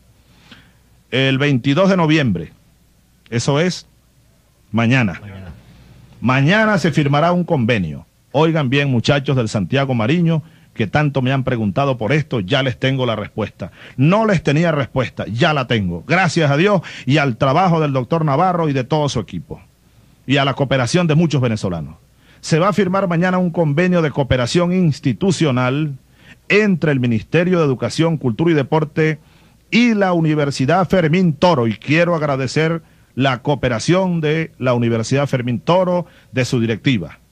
Ese convenio está dirigido a atender a los estudiantes de, óiganlo bien muchachos, los estudiantes de Derecho y de Comunicación Social del Santiago Mariño van a ser atendidos ahora por la Universidad Fermín Toro mediante programas de acreditación y pruebas especiales o de suficiencia. Ese convenio lo explicarán ya en detalle el ministro de Educación y las autoridades de la Universidad Fermín Toro. El día 26 de noviembre, el Consejo Nacional de Universidades en Barquisimeto van a firmar un convenio de cooperación interinstitucional entre el Ministerio de Educación y el rector de la universidad, Rafael Belloso Chacín, para atender, oigan estudiantes, estudiantes de relaciones industriales, de contaduría y de administración del Santiago Mariño porque realmente el Instituto Universitario Santiago Mariño, tal como está, no puede seguir dictando estas carreras. Pero los estudiantes no pueden quedar en el aire. Nosotros mientras tomamos las decisiones que haya que tomar con el Santiago Mariño, vamos entonces con estos convenios a lograr que la Universidad Fermín Toro atienda, continúe dándole la atención estudiantil, universitaria, a los estudiantes de Derecho y Comunicación Social. Y en Barquisimeto, para el caso de Lara, la Universidad Rafael Belloso Chacín, Relaciones Industriales, Contaduría y Administración del Santiago Mariño. Y además de esto, eh, los costos de matrícula y traslado de estudiantes debe correr por cuenta del Santiago Mariño. Eso está establecido en el convenio. Por otra parte, el caso, esta es una primera avanzada para, con, esto comenzaremos a solucionar el problema del Santiago Mariño, de los estudiantes del Santiago Mariño. Ahora voy con el Isaac Newton. También irregularidades por todas partes, es horroroso. Bueno, un convenio que se está ya, está en preparación, un convenio interinstitucional entre el Ministerio de Educación, que asume su responsabilidad. Y esto es un ejemplo de lo que tiene que hacer un Estado. Por eso es que algunos están acusándonos ahora de que estamos volviendo al estatismo, al centralismo. No, eso no es ningún estatismo. Eso no es ningún centralismo. Eso se llama responsabilidad de un Estado democrático. La educación es un derecho inalienable de, los, de todo ser humano. Y cuando la educación privada cae en crisis, como Isaac Newton cayó, pues uno no puede dejar en la calle a los estudiantes, ni permitir que los que los empresarios que dirigen ese instituto se vayan con la cabulla en la pata, como dicen allá en mi pueblo. No, hay que poner las cosas en su sitio. Si hay que meter preso a alguien, pues alguien deberá ir a prisión o pagar por los daños a tanta familia y a tantas juventudes. Pero mientras tanto, estamos tomando decisiones. Cooperación, en el caso de Isaac Newton, decía yo, entre el Ministerio de Educación y el Instituto Monseñor Arias Blanco para dar atención a estudiantes del programa de profesionalización docente del Instituto Isaac Newton en los estados Anzoátegui, Oigan, estudiantes del programa de profesionalización docente, el PRODO, allá en Anzoátegui, en Miranda, en Aragua, en Carabobo, en Cojedes y en Yaracuy. Les van a dar atención a partir de ahora en el Instituto Monseñor Arias Blanco. Van a continuar allí mientras se reestructura y se pone a derecho el Instituto Tecnológico Isaac Newton. Igual va a, pasar con los estudiantes de las carreras de educación integral y preescolar. Aquí van a salir beneficiados 4.850 estudiantes. Vamos también a tomar medidas complementarias como esta. Vamos a autorizar al Monseñor Arias Blanco, Instituto Monseñor Arias Blanco, para dictar carrera de educación preescolar en este caso único y mientras se soluciona. Esto es una emergencia, pues.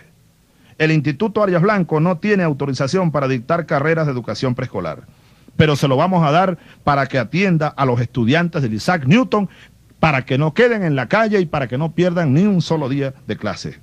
Y además se procedió a abrir un expediente administrativo por todas las irregularidades detectadas y eso va a pasar a los tribunales porque ya basta. No podemos permitir que se juegue con la educación. Eso es jugar con el futuro de Venezuela. Ningún instituto privado podrá hacer de la suya mientras esté aquí este gobierno bolivariano y revolucionario que tiene una responsabilidad con todos los estudiantes universitarios de Venezuela, a los cuales llamo a la lucha, a la unión y al trabajo y al estudio para que salvemos a Venezuela. Además de eso, hay un programa especial para atender 13 mil 800 estudiantes del programa de profesionalización docente del resto del país. Se nombró una comisión especial, este es el mismo programa, el PRODO. 13.800 estudiantes no van a perder tiempo, muchachos. Todas estas medidas garantizan que los alumnos en este mismo mes serán atendidos en el subsistema de educación superior. Con esto doy algunas informaciones de lo que estamos haciendo. Por otra parte, todas estas manifestaciones que hubo, eh, paro universitario hace ya varias semanas, eh, por un retardo en el pago de unas deudas asumidas por el gobierno, eran deudas viejas, a pesar de que no estaban presupuestadas, las hemos asumido después de haber vendido unos bonos a la deuda pública, después de haber hecho algunos ahorros en el gasto público, hemos puesto, por fin yo puedo decirle a los venezolanos que hemos puesto orden en el gasto público. Ahora ya me han garantizado el ministro de Finanzas ayer, el doctor José Rojas, que ya los recursos están disponibles y en las próximas semanas comenzará a pagarse lo que se debe del 20% de incremento salarial para los trabajadores, lo que se debe a las universidades, a los profesores. Estaremos al día antes de que el año termine, gracias a Dios y al trabajo de todos los que han tenido que ver con este problema. Muchachos universitarios, a luchar por Venezuela, a unirnos y a dignificar las universidades de toda Venezuela. Bien, presidente, continuamos con las llamadas. Ahora nos vamos a Turmero, Estado Aragua, de donde nos llama la señora Nayibi de Nardo. Señora Nayibi, buenos días. Buenos días. Buenos días, Nayibi. Buenos días. Hola, Nayibi. Hola. Este, ¿cómo está, presidente? Bueno, muy bien. Dime cómo estás tú y la familia. Bueno, más o menos. Que te noto preocupada. Levántese ánimo, mujer. Sí, tengo una preocupación verdad muy grande. Tengo una niña que le diagnosticaron leucemia linfática aguda. Ella tiene cinco años, ¿verdad? Y el viernes este, fui con una amiga a una clínica, ¿verdad? Y la doctora me dijo, mire, eso es una bola de billete, me dijo así, porque la quimioterapia que hay que aplicarle, ¿verdad? cada sección va, creo que entre 800 un millón de bolívares. Y yo realmente no sé para dónde llevarla. Bueno, mira, Nayibi, oye, ¿me, oye, mi amor? Sí, yo le escucho. Bueno, primero que nada, óyeme, tú eres católica, ¿verdad? Crees en Dios, ¿verdad? Sí. Bueno, primero que nada, pon Estamos apegados a Él. Toda tu mente, toda, toda, toda tu mente, todo tu cuerpo, ponlo en Dios. Levanta tu fe. No te desanimes por Dios, ¿ok? Haz un, haz un acuerdo conmigo, ¿sí? Sí. Levante el ánimo, pues. Bueno, sí, claro. Primero que nada, levante el ánimo, ten mucha fe en Dios, pero además a Dios rogando y con el mazo dando. Sí. Déjame decirte algo. Yo hace como un mes y medio visité a los niños con cáncer aquí en Caracas, en el hospital, ¿cómo se llama? Eh, JM de los Ríos. Ajá, ahí estuve con ellos. Y hablé con ellos y les llevamos unas cositas, eh, ya le dotamos al hospital algunas cosas para la quimioterapia que hacían falta, etcétera.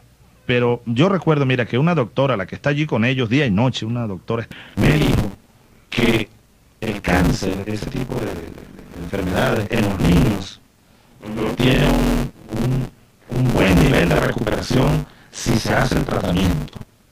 ¿De acuerdo? Así que ten fe, primero en Dios, segundo en la ciencia médica y tercero eh, nosotros vamos a ayudar hoy mismo. Así que para que, para que dejes esa incertidumbre de dónde la vas a llevar, de que el, el bola de billete, no, fíjate tú cómo, cómo, se, ha, perdido aquí, ¿no? Cómo se ha perdido la, sensibilidad. Una bola de billete, yo quiero decirte que en Cuba, ese pueblo, ese gobierno que tanto atacan, eh, que si es comunista, que si es no más, sea lo que sea, un gobierno de un pueblo y hay que respetarlo.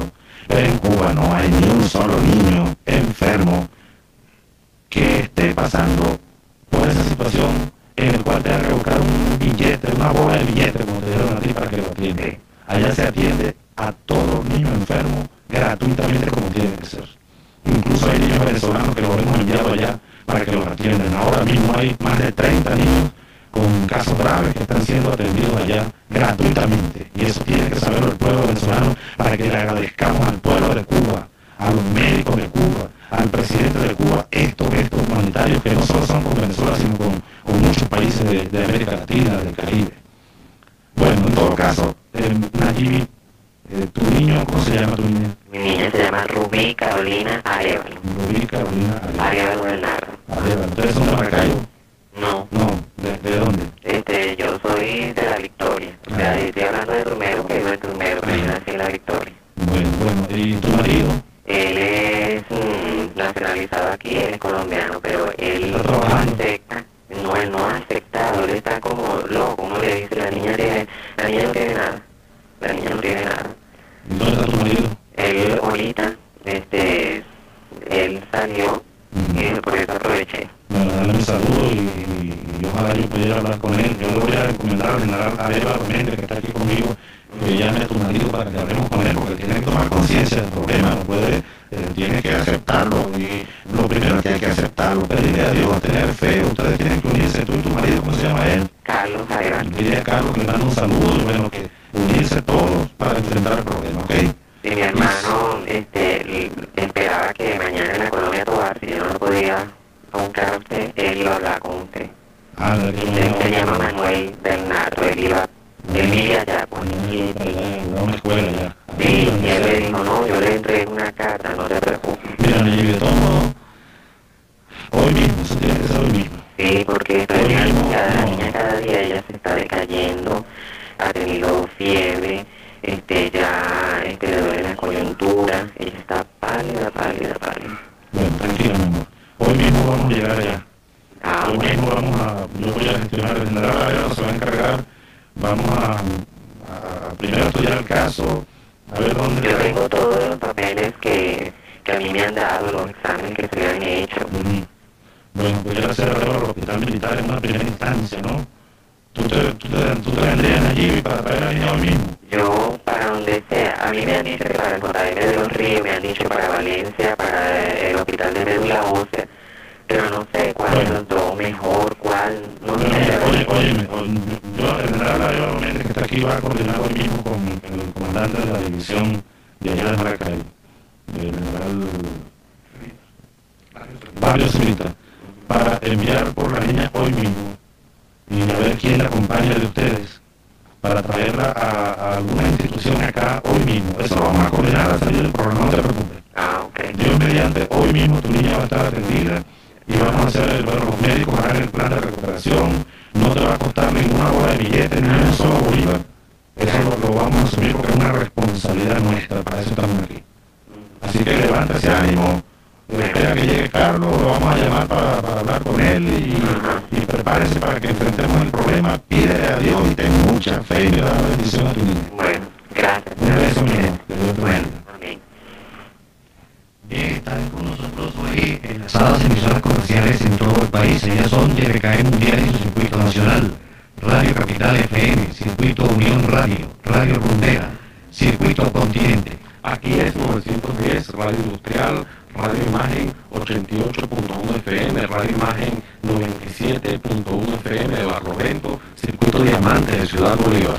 Radio Baila 103 en Ciudad Bolívar, Radio Flash FM en Ciudad Bolívar, emisora cultural del Táchira, Radio Difusora Venezuela, Radio Luz FM 102.9 en Estados Unidos. Ondas del Mar 1380 de Puerto Cabello, Circuito Fe, Alegría Caracas, Maracaibo, Guajualito y Campomata, Radio Musical 94 FM el Estado Sucre, Radio Class Estado Cogede, Radio Carora FM 1005 Estado Lara, Radio Latina del Estado Carabobo, Radio Sur 95.5 de Camatagua, Radio 91.3 FM Vigía, Estado Mérida, Radio Sonera 105.9 FM La Victoria, Radio Tui Stereo 106.9 FM Ocumare del Tui, Radio 1070 AM La Guaira, Radio Paraguaná 880 AM Estado Falcón, Radio Paraíso Estéreo Estado Barinas, Radio Premio Estado Barinas y Radio Vibración del Estado Sucre. Son 30 emisoras enlazadas voluntariamente con el programa Aló Presidente, el primer programa de la radio venezolana, programa de participación donde el pueblo se comunica directamente con su presidente Hugo Chávez Frías. Tenemos en línea a María de Gómez desde Marapa, Estado Vargas. María, te escucha el presidente. Buenos días, María. ¿Cómo estás, señor presidente? Hola, María, ¿estás en Marapa? Sí. ¿Cómo está la familia, María? Pero está bien. ¿Y tú eres de dónde, María? Yo de Ciudad Bolívar. Ciudad Bolívar, estás en la orilla del mar ahora. Sí. Bueno, dime, María, ¿de qué se trata? Mire, lo molesto es para informarle, ¿no? Que aquí en el estado Vargas hay varios, varios liceos que están en condiciones que no tienen nada, pues. Primero el liceo Bones, usted tuvo el liceo Bones cuando usted tuvo aquí en el estado Vargas. ¿Liceos? ¿Liceos? Bones, Narciso Bones. Ajá, vamos a anotar eso. Tengo una niña que estudia en ese liceo. ¿Y qué es lo que pasa en ese liceo, María? Pero que cuando usted tuvo los primeros, cuando usted tuvo el estado Vargas, usted tuvo ese liceo. que Usted fue dotado de los materiales que necesitan el liceo, pues papeles, tiza y todas esas cosas. Yo estuve en ese liceo. Sí. Yo recuerdo que fui a dos, a inaugurar dos escuelas bolivarianas. Sí, yo estuve en el liceo, porque inclusive yo hace padrino de, del quinto año que iba saliendo, Ah, pero eso no fue este año. el año pasado. Ah, sí, antes de ser presidente, ya, ya recuerdo. Ok. Ajá, dime. Entonces el problema es que el liceo no tiene nada, ¿eh? ni papel ni tiza. Entonces la directora se está viendo la obligación de que le está pidiendo a los representantes la colaboración de 16 mil bolívares. No vamos con la constancia de estudio y tiene que pagar hasta, hasta 100 bolívares el muchacho. Entonces el liceo no tiene nada. En la misma condición está el que son las turitas. Que las turitas.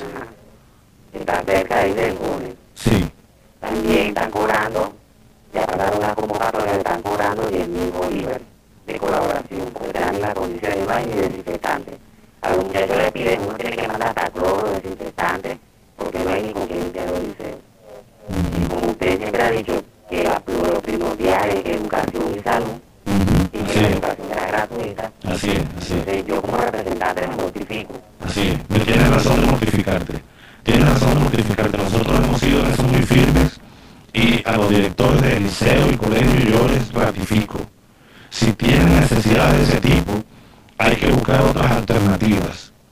Diríjanse al Ministerio de Educación, hay una oficina especial para este caso.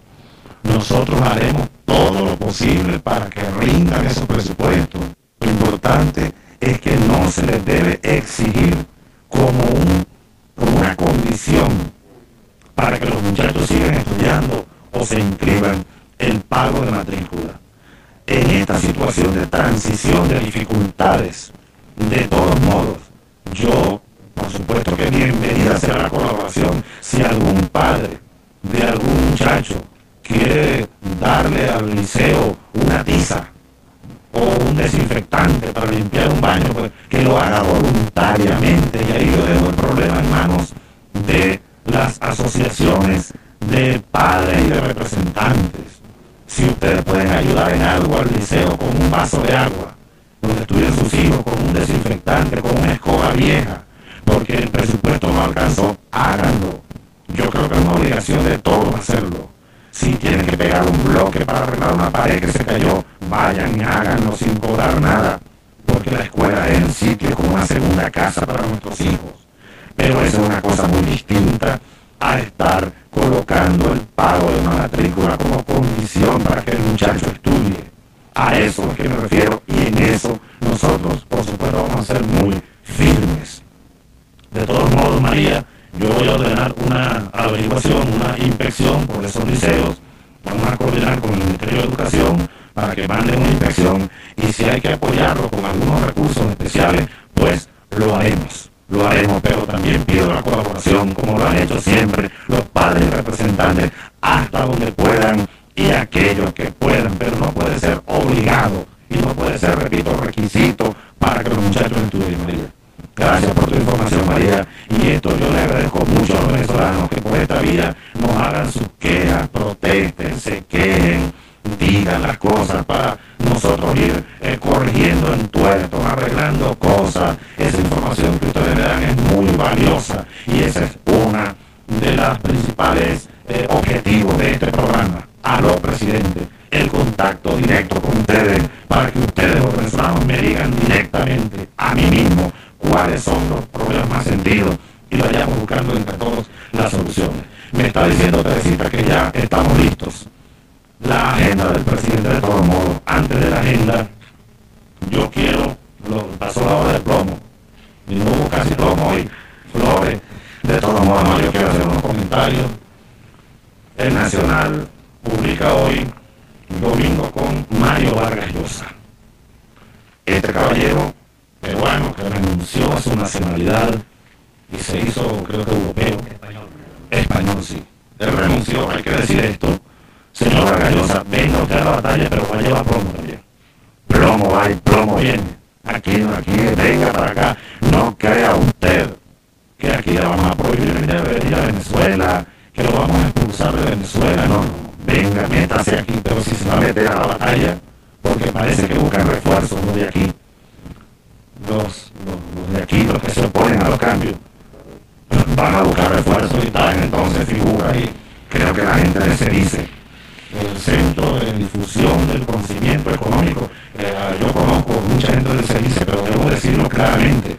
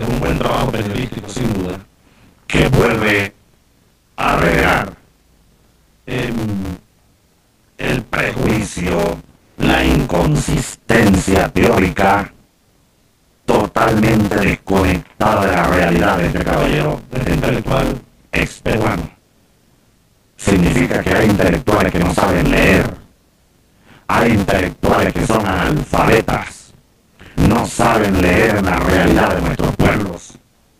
Fíjense ustedes lo que dice el señor Mario Vargas Llosa. Él dice que está preocupado por, por la democracia venezolana. Que está preocupado y le preguntan cómo se habla de Venezuela. Dice aquí, le pregunta uno de los periodistas. Y él responde con mucha preocupación.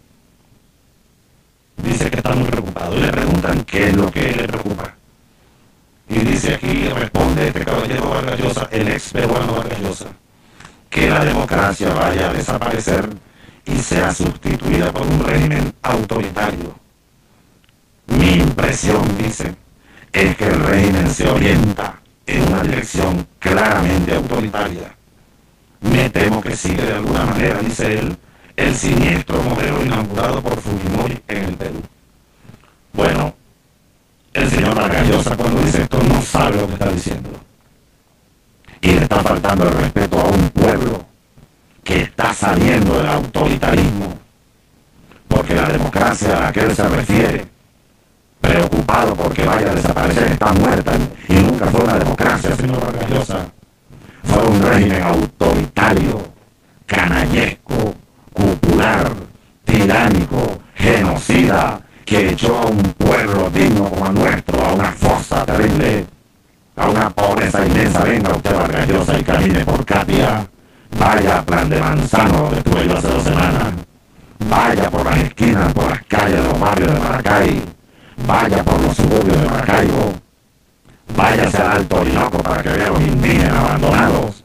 Que ahora es cuando está llegando un sistema, un gobierno democrático que está velando por los intereses del pueblo.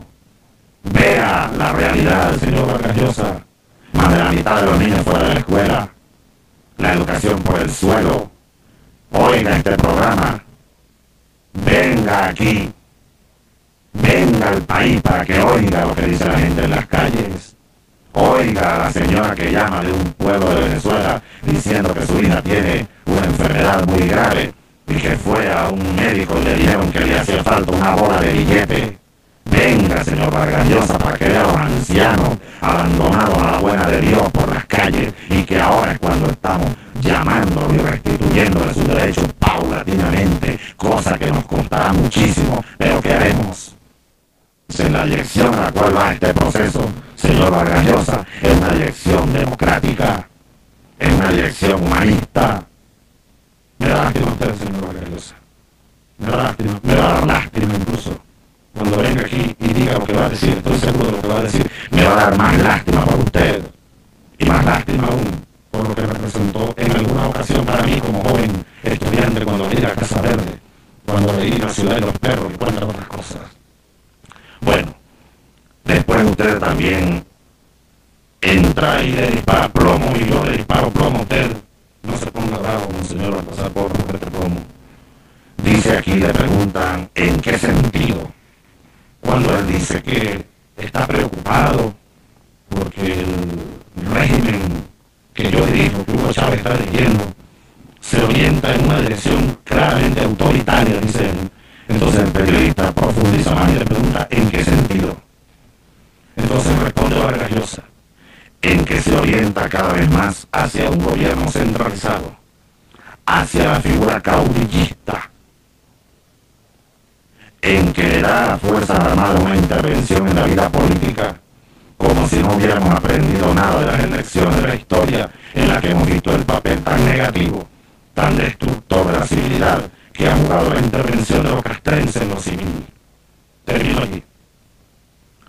El señor Vargas Llosa le está faltando el respeto al pueblo de Venezuela y a las Fuerzas Armadas de Venezuela. En una clara injerencia en cosas en las que no tiene por qué estarse metiendo porque aquí sabemos bien lo que estamos haciendo. Además, está diciendo unas grandes mentiras. Está totalmente desconectado de la realidad, como un autista. Nosotros estamos construyendo una democracia federal.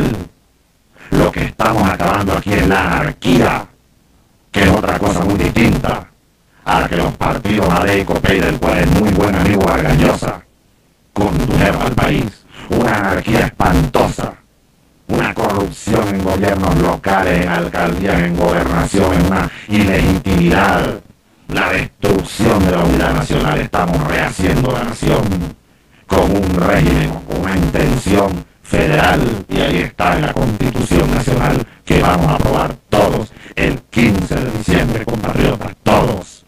Una democracia federal. No estamos dirigiéndonos hacia un régimen centralista, mentira la federación, pero la federación debe estar equilibrada, equilibrio entre el poder del gobierno nacional y los gobiernos locales, no anarquía, que es otra cosa, y los venezolanos saben muy bien la anarquía a la que hemos llegado en las alcaldías, en gobernaciones, en consejos municipales, asambleas legislativas, el poder judicial anda al y al y lo que estamos es reordenando un sistema político para que sea democrático. Y en cuanto a lo caudillista, estamos saliendo del caudillismo. El caudillismo de un grupo de dirigentes que condujeron al país de manera arbitraria y autoritaria durante estos últimos 40 años. Bueno, incluso un ex candidato presidencial del año pasado lo llamaban el caudillo. tanto así que lo llamaban el caudillo.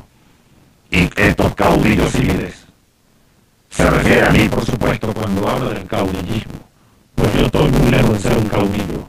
Soy un instrumento de un pueblo y estaré aquí hasta que el pueblo quiera. Los caudillos son otra cosa. Yo soy un luchador social, yo soy un revolucionario y soy un soldado sujeto a lo que diga la mayoría de mi pueblo. Los caudillos son otra cosa, pero Vargas Llosa está hablando quizá además, que quizás que tiene algún un buen psicólogo pudiera hacer algún estudio, porque creo que él estudió en una escuela militar, donde lo maltrataron un poco, según él mismo ha contado, en la biografía de su vida. Y entonces Quizás tiene una cosa por dentro, aunque algún buen psicólogo pudiera haciendo una regresión, a lo mejor estudiar su infancia en un colegio militar en el Perú, donde parece que lo maltrataron un poco. Quiero decirle al señor Vargas y al mundo que las Fuerzas Armadas venezolanas son una cosa muy distinta a lo que él cree que somos y que le pregunte al pueblo. Hay una encuesta reciente por ahí, por cierto, que coloca a las Fuerzas Armadas Venezolanas como la primera institución más apreciada por su pueblo. Fíjate lo que dice acá el señor Vargas Llosa. Bueno, además después sigue diciendo eh, del Poder Ejecutivo. En la eternización del Poder Ejecutivo, dice. También dice que se está eternizando el Poder Ejecutivo en Venezuela. Qué ignorancia. Pero bueno vamos a los militares. Fíjate lo que, lo que llega a decir. Obligar constitucionalmente a las Fuerzas Armadas a politizarse es una temeridad, una insensatez, dice Vargallosa, al referirse a la norma constitucional que le confiere el voto a los militares. Lo primero que hay que decir es que no tenemos que meterse en esto, lo primerito. Es un asunto de nosotros, de nuestra casa. Pero en segundo lugar, en segundo lugar, a este intelectual experuano, que en la mayor parte de los países desarrollados del mundo, los militares tienen el derecho al voto. Incluso en España, donde él escogió esa nacionalidad. Sí, si él se, se asimilara o algo así, tendría derecho a votar en España, en los Estados Unidos, en, en Europa. Entonces, qué lejos de la realidad, lo cual, lo cual ya desdice pues de su, de su capacidad de analizar una realidad, de su objetividad para analizar una realidad. Aquí em, más adelante dice, eh, está convencido de que el poder militar debe estar sujeto siempre al poder civil, estamos de acuerdo, de lo contrario no hay democracia, estamos de acuerdo. A las Fuerzas Armadas dice son una institución enormemente costosa. Alimentarlas, mantenerlas y armarlas es algo que le cuesta a la ciudadanía. Por tanto, deben cumplir estrictamente su misión y estar siempre subordinadas a las decisiones de ese poder civil. Hay que recordar que eso no tiene por qué, en eso no tiene por qué meterse el señor Vargallosa. Pero hay que recordarle al señor Vargallosa y a los que lo traen aquí para que hable, porque no se atreven a hablar seguramente, que las Fuerzas Armadas venezolanas ahora, en esta nueva situación que tienen un verdadero comandante en jefe, ahora es que han comenzado a integrarse al mundo civil, han comenzado incluso a utilizar sus recursos, las rutas aéreas sociales, los aviones militares andan transportando ciudadanos por todo el país a la mitad de costo. Los eh, soldados venezolanos andan por los ríos, navegando los ríos, llevándole medicinas, atención médica, eh, salud, alfabetización a los, a los pueblos indígenas que estaban abandonados por allá por los grandes ríos del sur. Los militares andan con sus hospitales de campaña, con sus médicos, sus paramédicos de día, de noche, sábados y domingos, atendiendo enfermos por todo el país que estaban abandonados. Los militares andan por todas partes haciendo escuelas, recuperando escuelas sin cobrar un centavo utilizando sus propios presupuestos.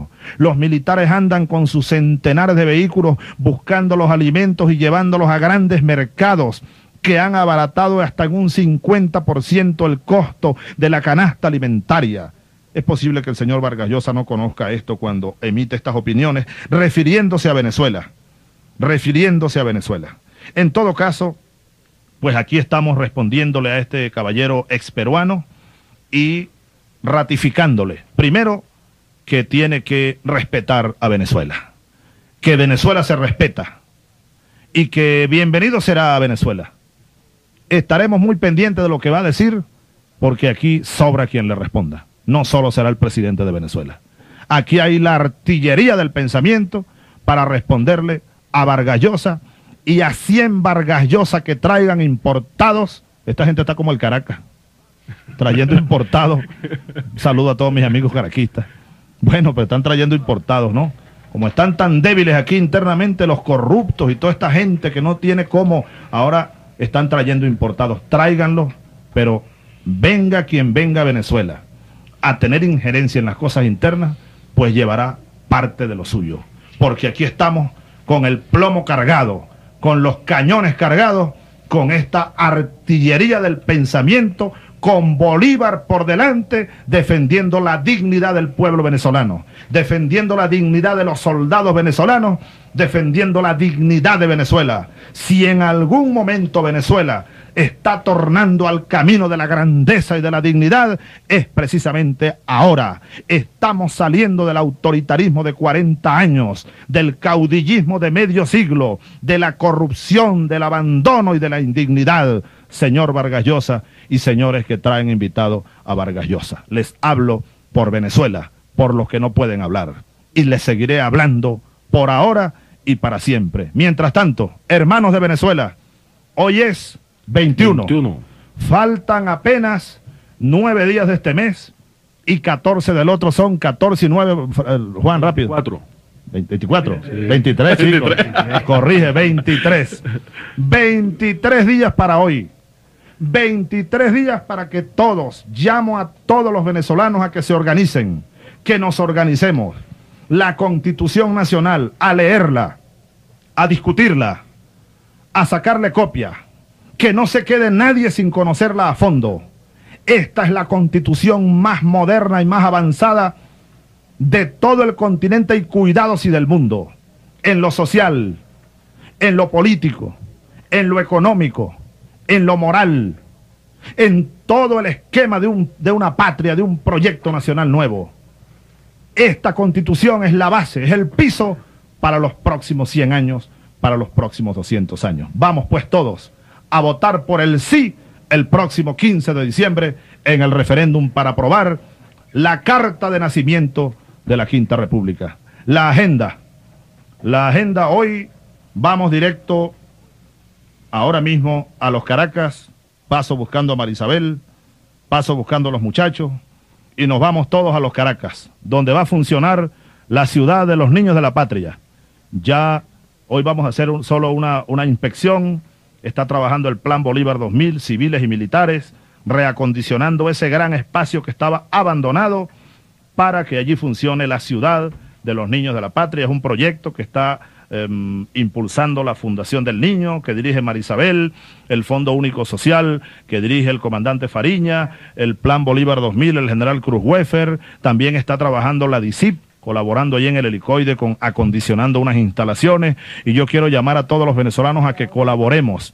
Vamos a colaborar todo para que existan pronto varias ciudades de los niños de la patria en Venezuela. Esta será la primera, esta será eh, el modelo, será eh, el arranque del proyecto de los niños de la patria. Hoy vamos a inspeccionarlo precisamente por ser hoy, eh, bueno, se cumplen 10 años de la Convención del Niño.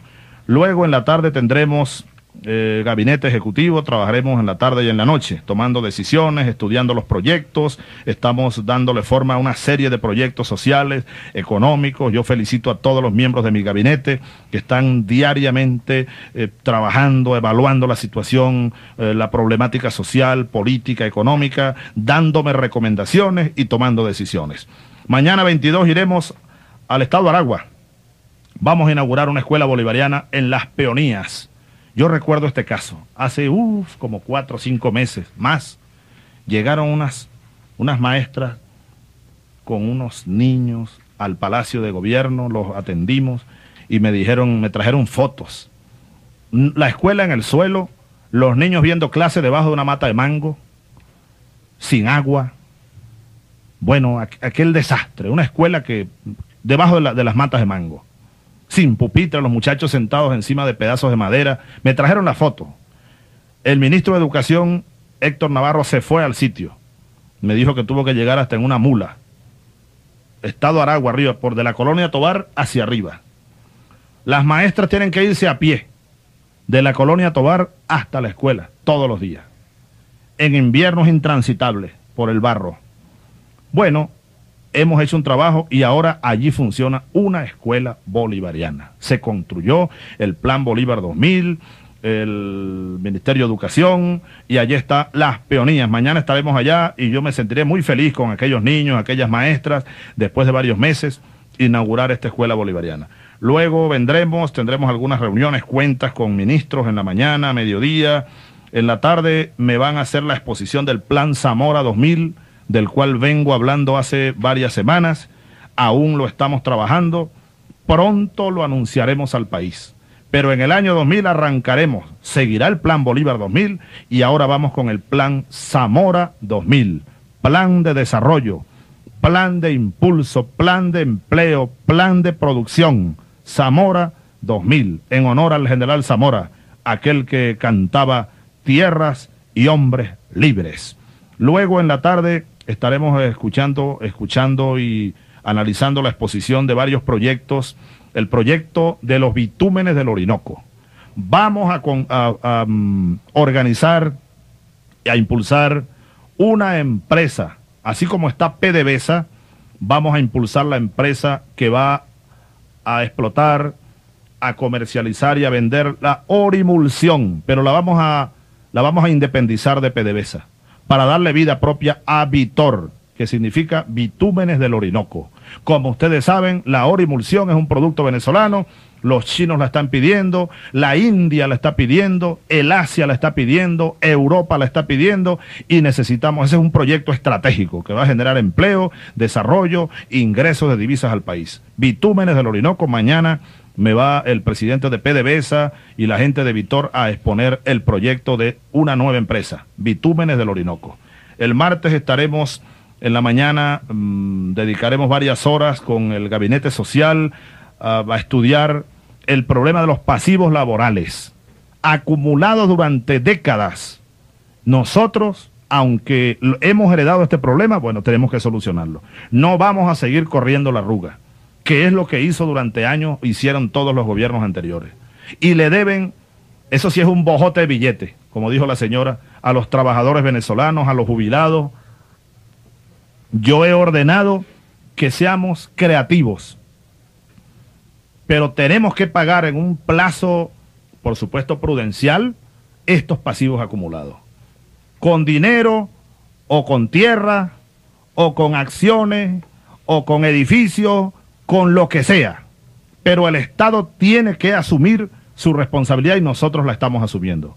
Así que a los trabajadores venezolanos, a los jubilados, a los pensionados, tengan la certeza de que estamos trabajando, buscando soluciones, inventando soluciones. Pero nosotros, antes de entregar el gobierno, habremos, y ese es un compromiso con ustedes, cancelado lo que hemos llamado la deuda social. Vamos también a estudiar mañana el problema de la deuda externa por la mañana. Es un problema serio, lo hablamos en Cuba. La deuda externa venezolana se lleva, se llevó este año, fíjense ustedes que dentro de pocas semanas vamos a pagar 1.500 millones de dólares. Ahora, el último pago de este año. Hemos cancelado sin falta la deuda externa, pero el problema de la deuda sigue siendo grave. Para Venezuela no es tan grave como para Ecuador, por ejemplo. En Ecuador, el presidente Mawad me lo acaba de explicar allá en Cuba, a todos nosotros nos explicó, tuvo que tomar la decisión de detener los pagos de la deuda porque la deuda externa bueno, los compromisos de deuda de Ecuador son más altos que el presupuesto disponible. ¿Cómo va a cerrar la casa? Y los niños, y la educación, y la salud, va a permitir que, se, que Ecuador entre en una guerra social por el pago de la deuda. No, ahí es, ahí es cuando un, presidente, y yo apoyo a Jamil Mawad, es un buen muchacho, un buen hombre, muy joven, eh, está comenzando con grandes dificultades, producto de los gobiernos estos a los que Vargas Llosa seguramente defiende como las democracias de los últimos años, ¿no? El desastre de los últimos años. Entonces el problema de la deuda nosotros no lo perdemos de vista, estamos hablando con el mundo y estamos buscando soluciones. Bueno, luego analizaremos la, la problemática política del país. Ustedes saben, yo tengo que ir previendo cosas como esta, Teresita. Tenemos que nombrar un vicepresidente de la República tengo que empezar yo a, Así que mañana en la noche me estaré concentrando con mi equipo político, de asesores políticos, para comenzar a prever lo que está. Además, bueno, además de eso, el 15 de diciembre vamos a hacer el referéndum y aprobaremos la nueva constitución. Pero yo acepté, como lo dije antenoche y lo ratifico, vamos a elecciones. ¿Está bien? Porque hay sectores que dicen que eh, así como los gobernadores hay que relegitimarlos también al presidente de la República. Está bien, yo lo acepto. Para que no vayan a decir que estamos haciendo trampa. No, lo que es igual no es trampa. Bueno, vamos. El próximo año entonces vamos a elecciones. Pues estoy de acuerdo. Vamos a elegir otro presidente. A lo mejor viene frijolito por ahí, repotenciado, qué sé yo. yo voy a la batalla. Desde ya me lanzo de candidato para el próximo periodo constitucional. Para los próximos seis años de gobierno, me lanzo de candidato. La Asamblea Constituyente ya verá a ellos cómo solucionan el problema, pero esto es para darle cabida a todas las manifestaciones y todos los pedimentos de relegitimación. Está bien, hay una nueva constitución, ahora es un nuevo periodo de seis años que requiere relegitimar al presidente, estoy de acuerdo. Pero igual habrá que hacerlo con todos los gobernadores, con todos los alcaldes. El Congreso desaparecerá el 15 de diciembre y habrá que elegir una Asamblea Nacional.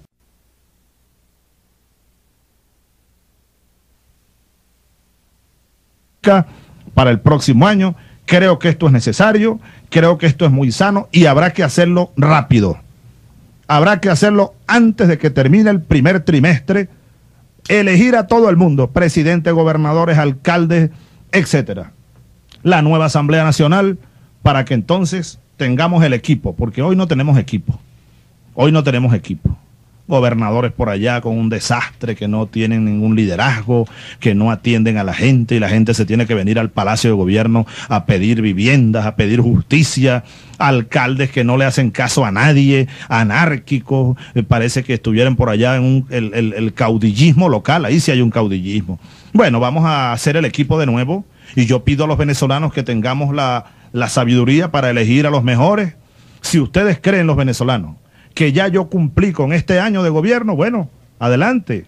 Yo no tengo ningún problema, a mí no me importa para nada mi vida ni mi destino personal. Me importa ser un instrumento de un proceso. Si ya bastó un año de gobierno para darle paso a la Asamblea Constituyente, para hacer la otra constitución y para medio equilibrar el país y los venezolanos dicen, Chávez ya está bueno, adelante. Yo no tengo ningún problema, me iría a jugar béisbol, a dar clase en alguna escuela bolivariana, sería feliz con 100 niños enseñándolos todo lo que yo pueda. Pero eso lo decidirán los venezolanos. En sus manos está esa posibilidad. Así que preparémonos para eso y mañana, el día martes, estaremos analizando ese escenario político de diciembre, el referéndum y lo del próximo año. Luego, el día miércoles, estaremos trabajando gabinete, eh, agenda, revisando agenda el jueves, el jueves, esto es muy importante. A las 8 de la mañana iniciaremos un operativo Salud Caracas. Vamos a un operativo del Plan Bolívar 2000 cívico-militar por los barrios de Caracas, un operativo de salud para atender a los más necesitados, atención médica gratuita, medicinas y tratamiento permanente. Esto lo comenzaremos el día jueves 25. Plan de gratuidad de los servicios de salud.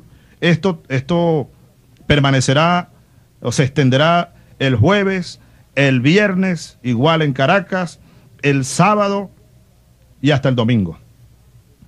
El día sábado 27 vamos a Maracay a las 6 de la tarde a inaugurar los Juegos Nacionales Juveniles. ¿Cómo costó? Pero gracias al esfuerzo de tanta gente, yo felicito al comandante Raúl Salmerón, quien jugó tercera base en Cuba, por cierto, el presidente del IND, amigo de toda la vida, presidente del IND, cómo costó, porque no estaba en el presupuesto, no estaban las instalaciones terminadas. Tuvimos que trabajar muy duro. Gracias a Dios, los Juegos Nacionales se inaugurarán. Jóvenes de Venezuela, a Maracay, a los Juegos Nacionales Juveniles y que gane el mejor.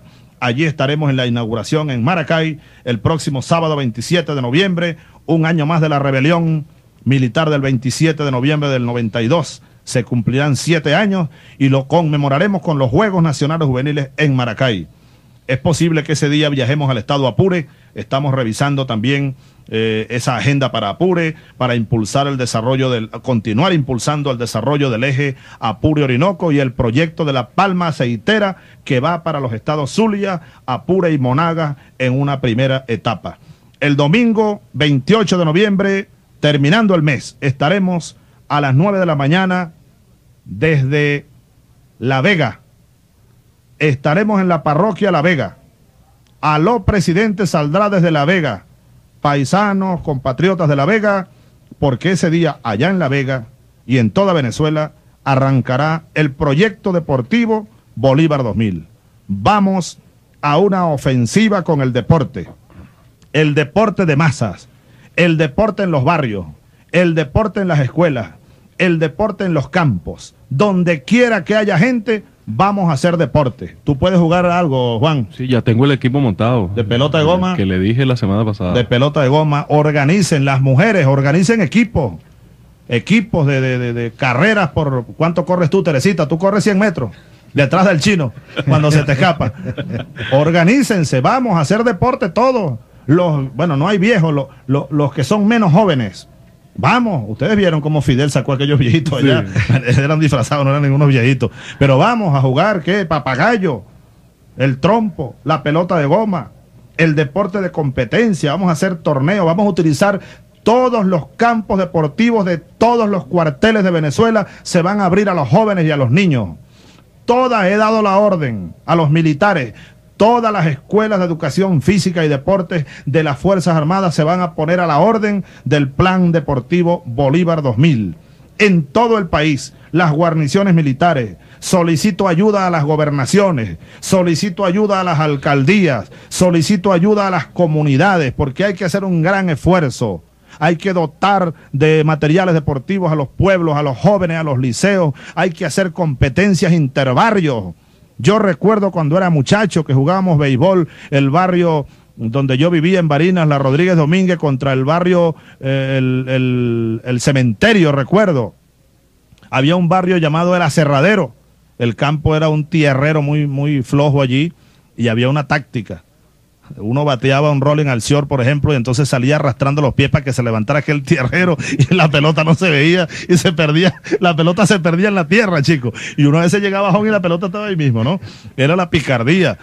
Hacíamos torneos interbarrios, inventábamos trofeos con madrina, las muchachas bonitas uno las llevaba y las ponía de madrina y desfilábamos y así se iba haciendo la comunidad, el amor entre nosotros, la hermandad y se acaba la droga se acaban los niños abandonados, poco a poco vamos sacando a la juventud de un marasmo. El deporte es vida, el deporte es hacer patria, como dice un viejo dicho. Así que gracias al proyecto Bolívar 2000, gracias a los militares, deportistas, gracias al IND, gracias al, Ministerio de Educación, Cultura y Deporte, por eh, está listo. Vamos a arrancar el domingo 28 eh, allá en La Vega con el programa eh, saliendo desde allá a lo presidente en la parroquia La Vega y en todo el país el proyecto deportivo Bolívar 2000. Son las 11 y 36 minutos de la mañana. Queridos amigos, nos vamos a la ciudad de los niños de la patria, a los Caracas. Un abrazo para todos y allá vamos. Venezuela será digna y grande de nuevo. Dios mediante. Hasta aquí, señoras y señores, el programa número 21 de Aló Presidente.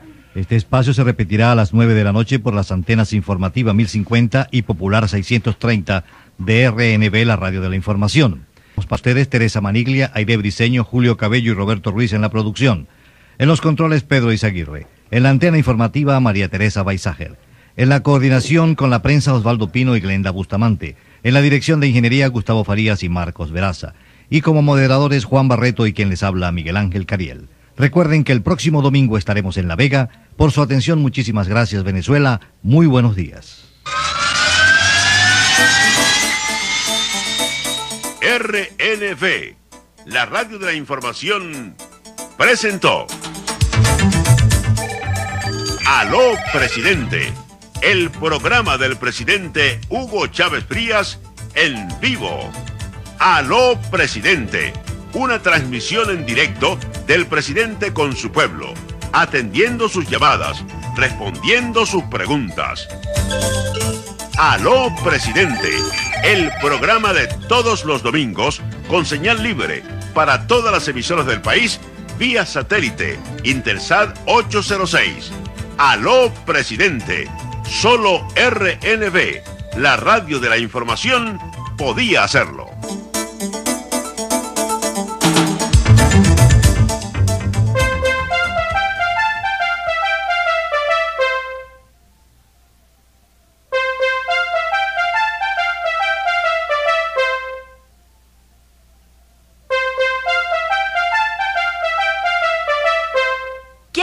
Mi casa, mi carro, una computadora. Tengo mis sueños y no sé qué pasa. El dinero no me alcanza.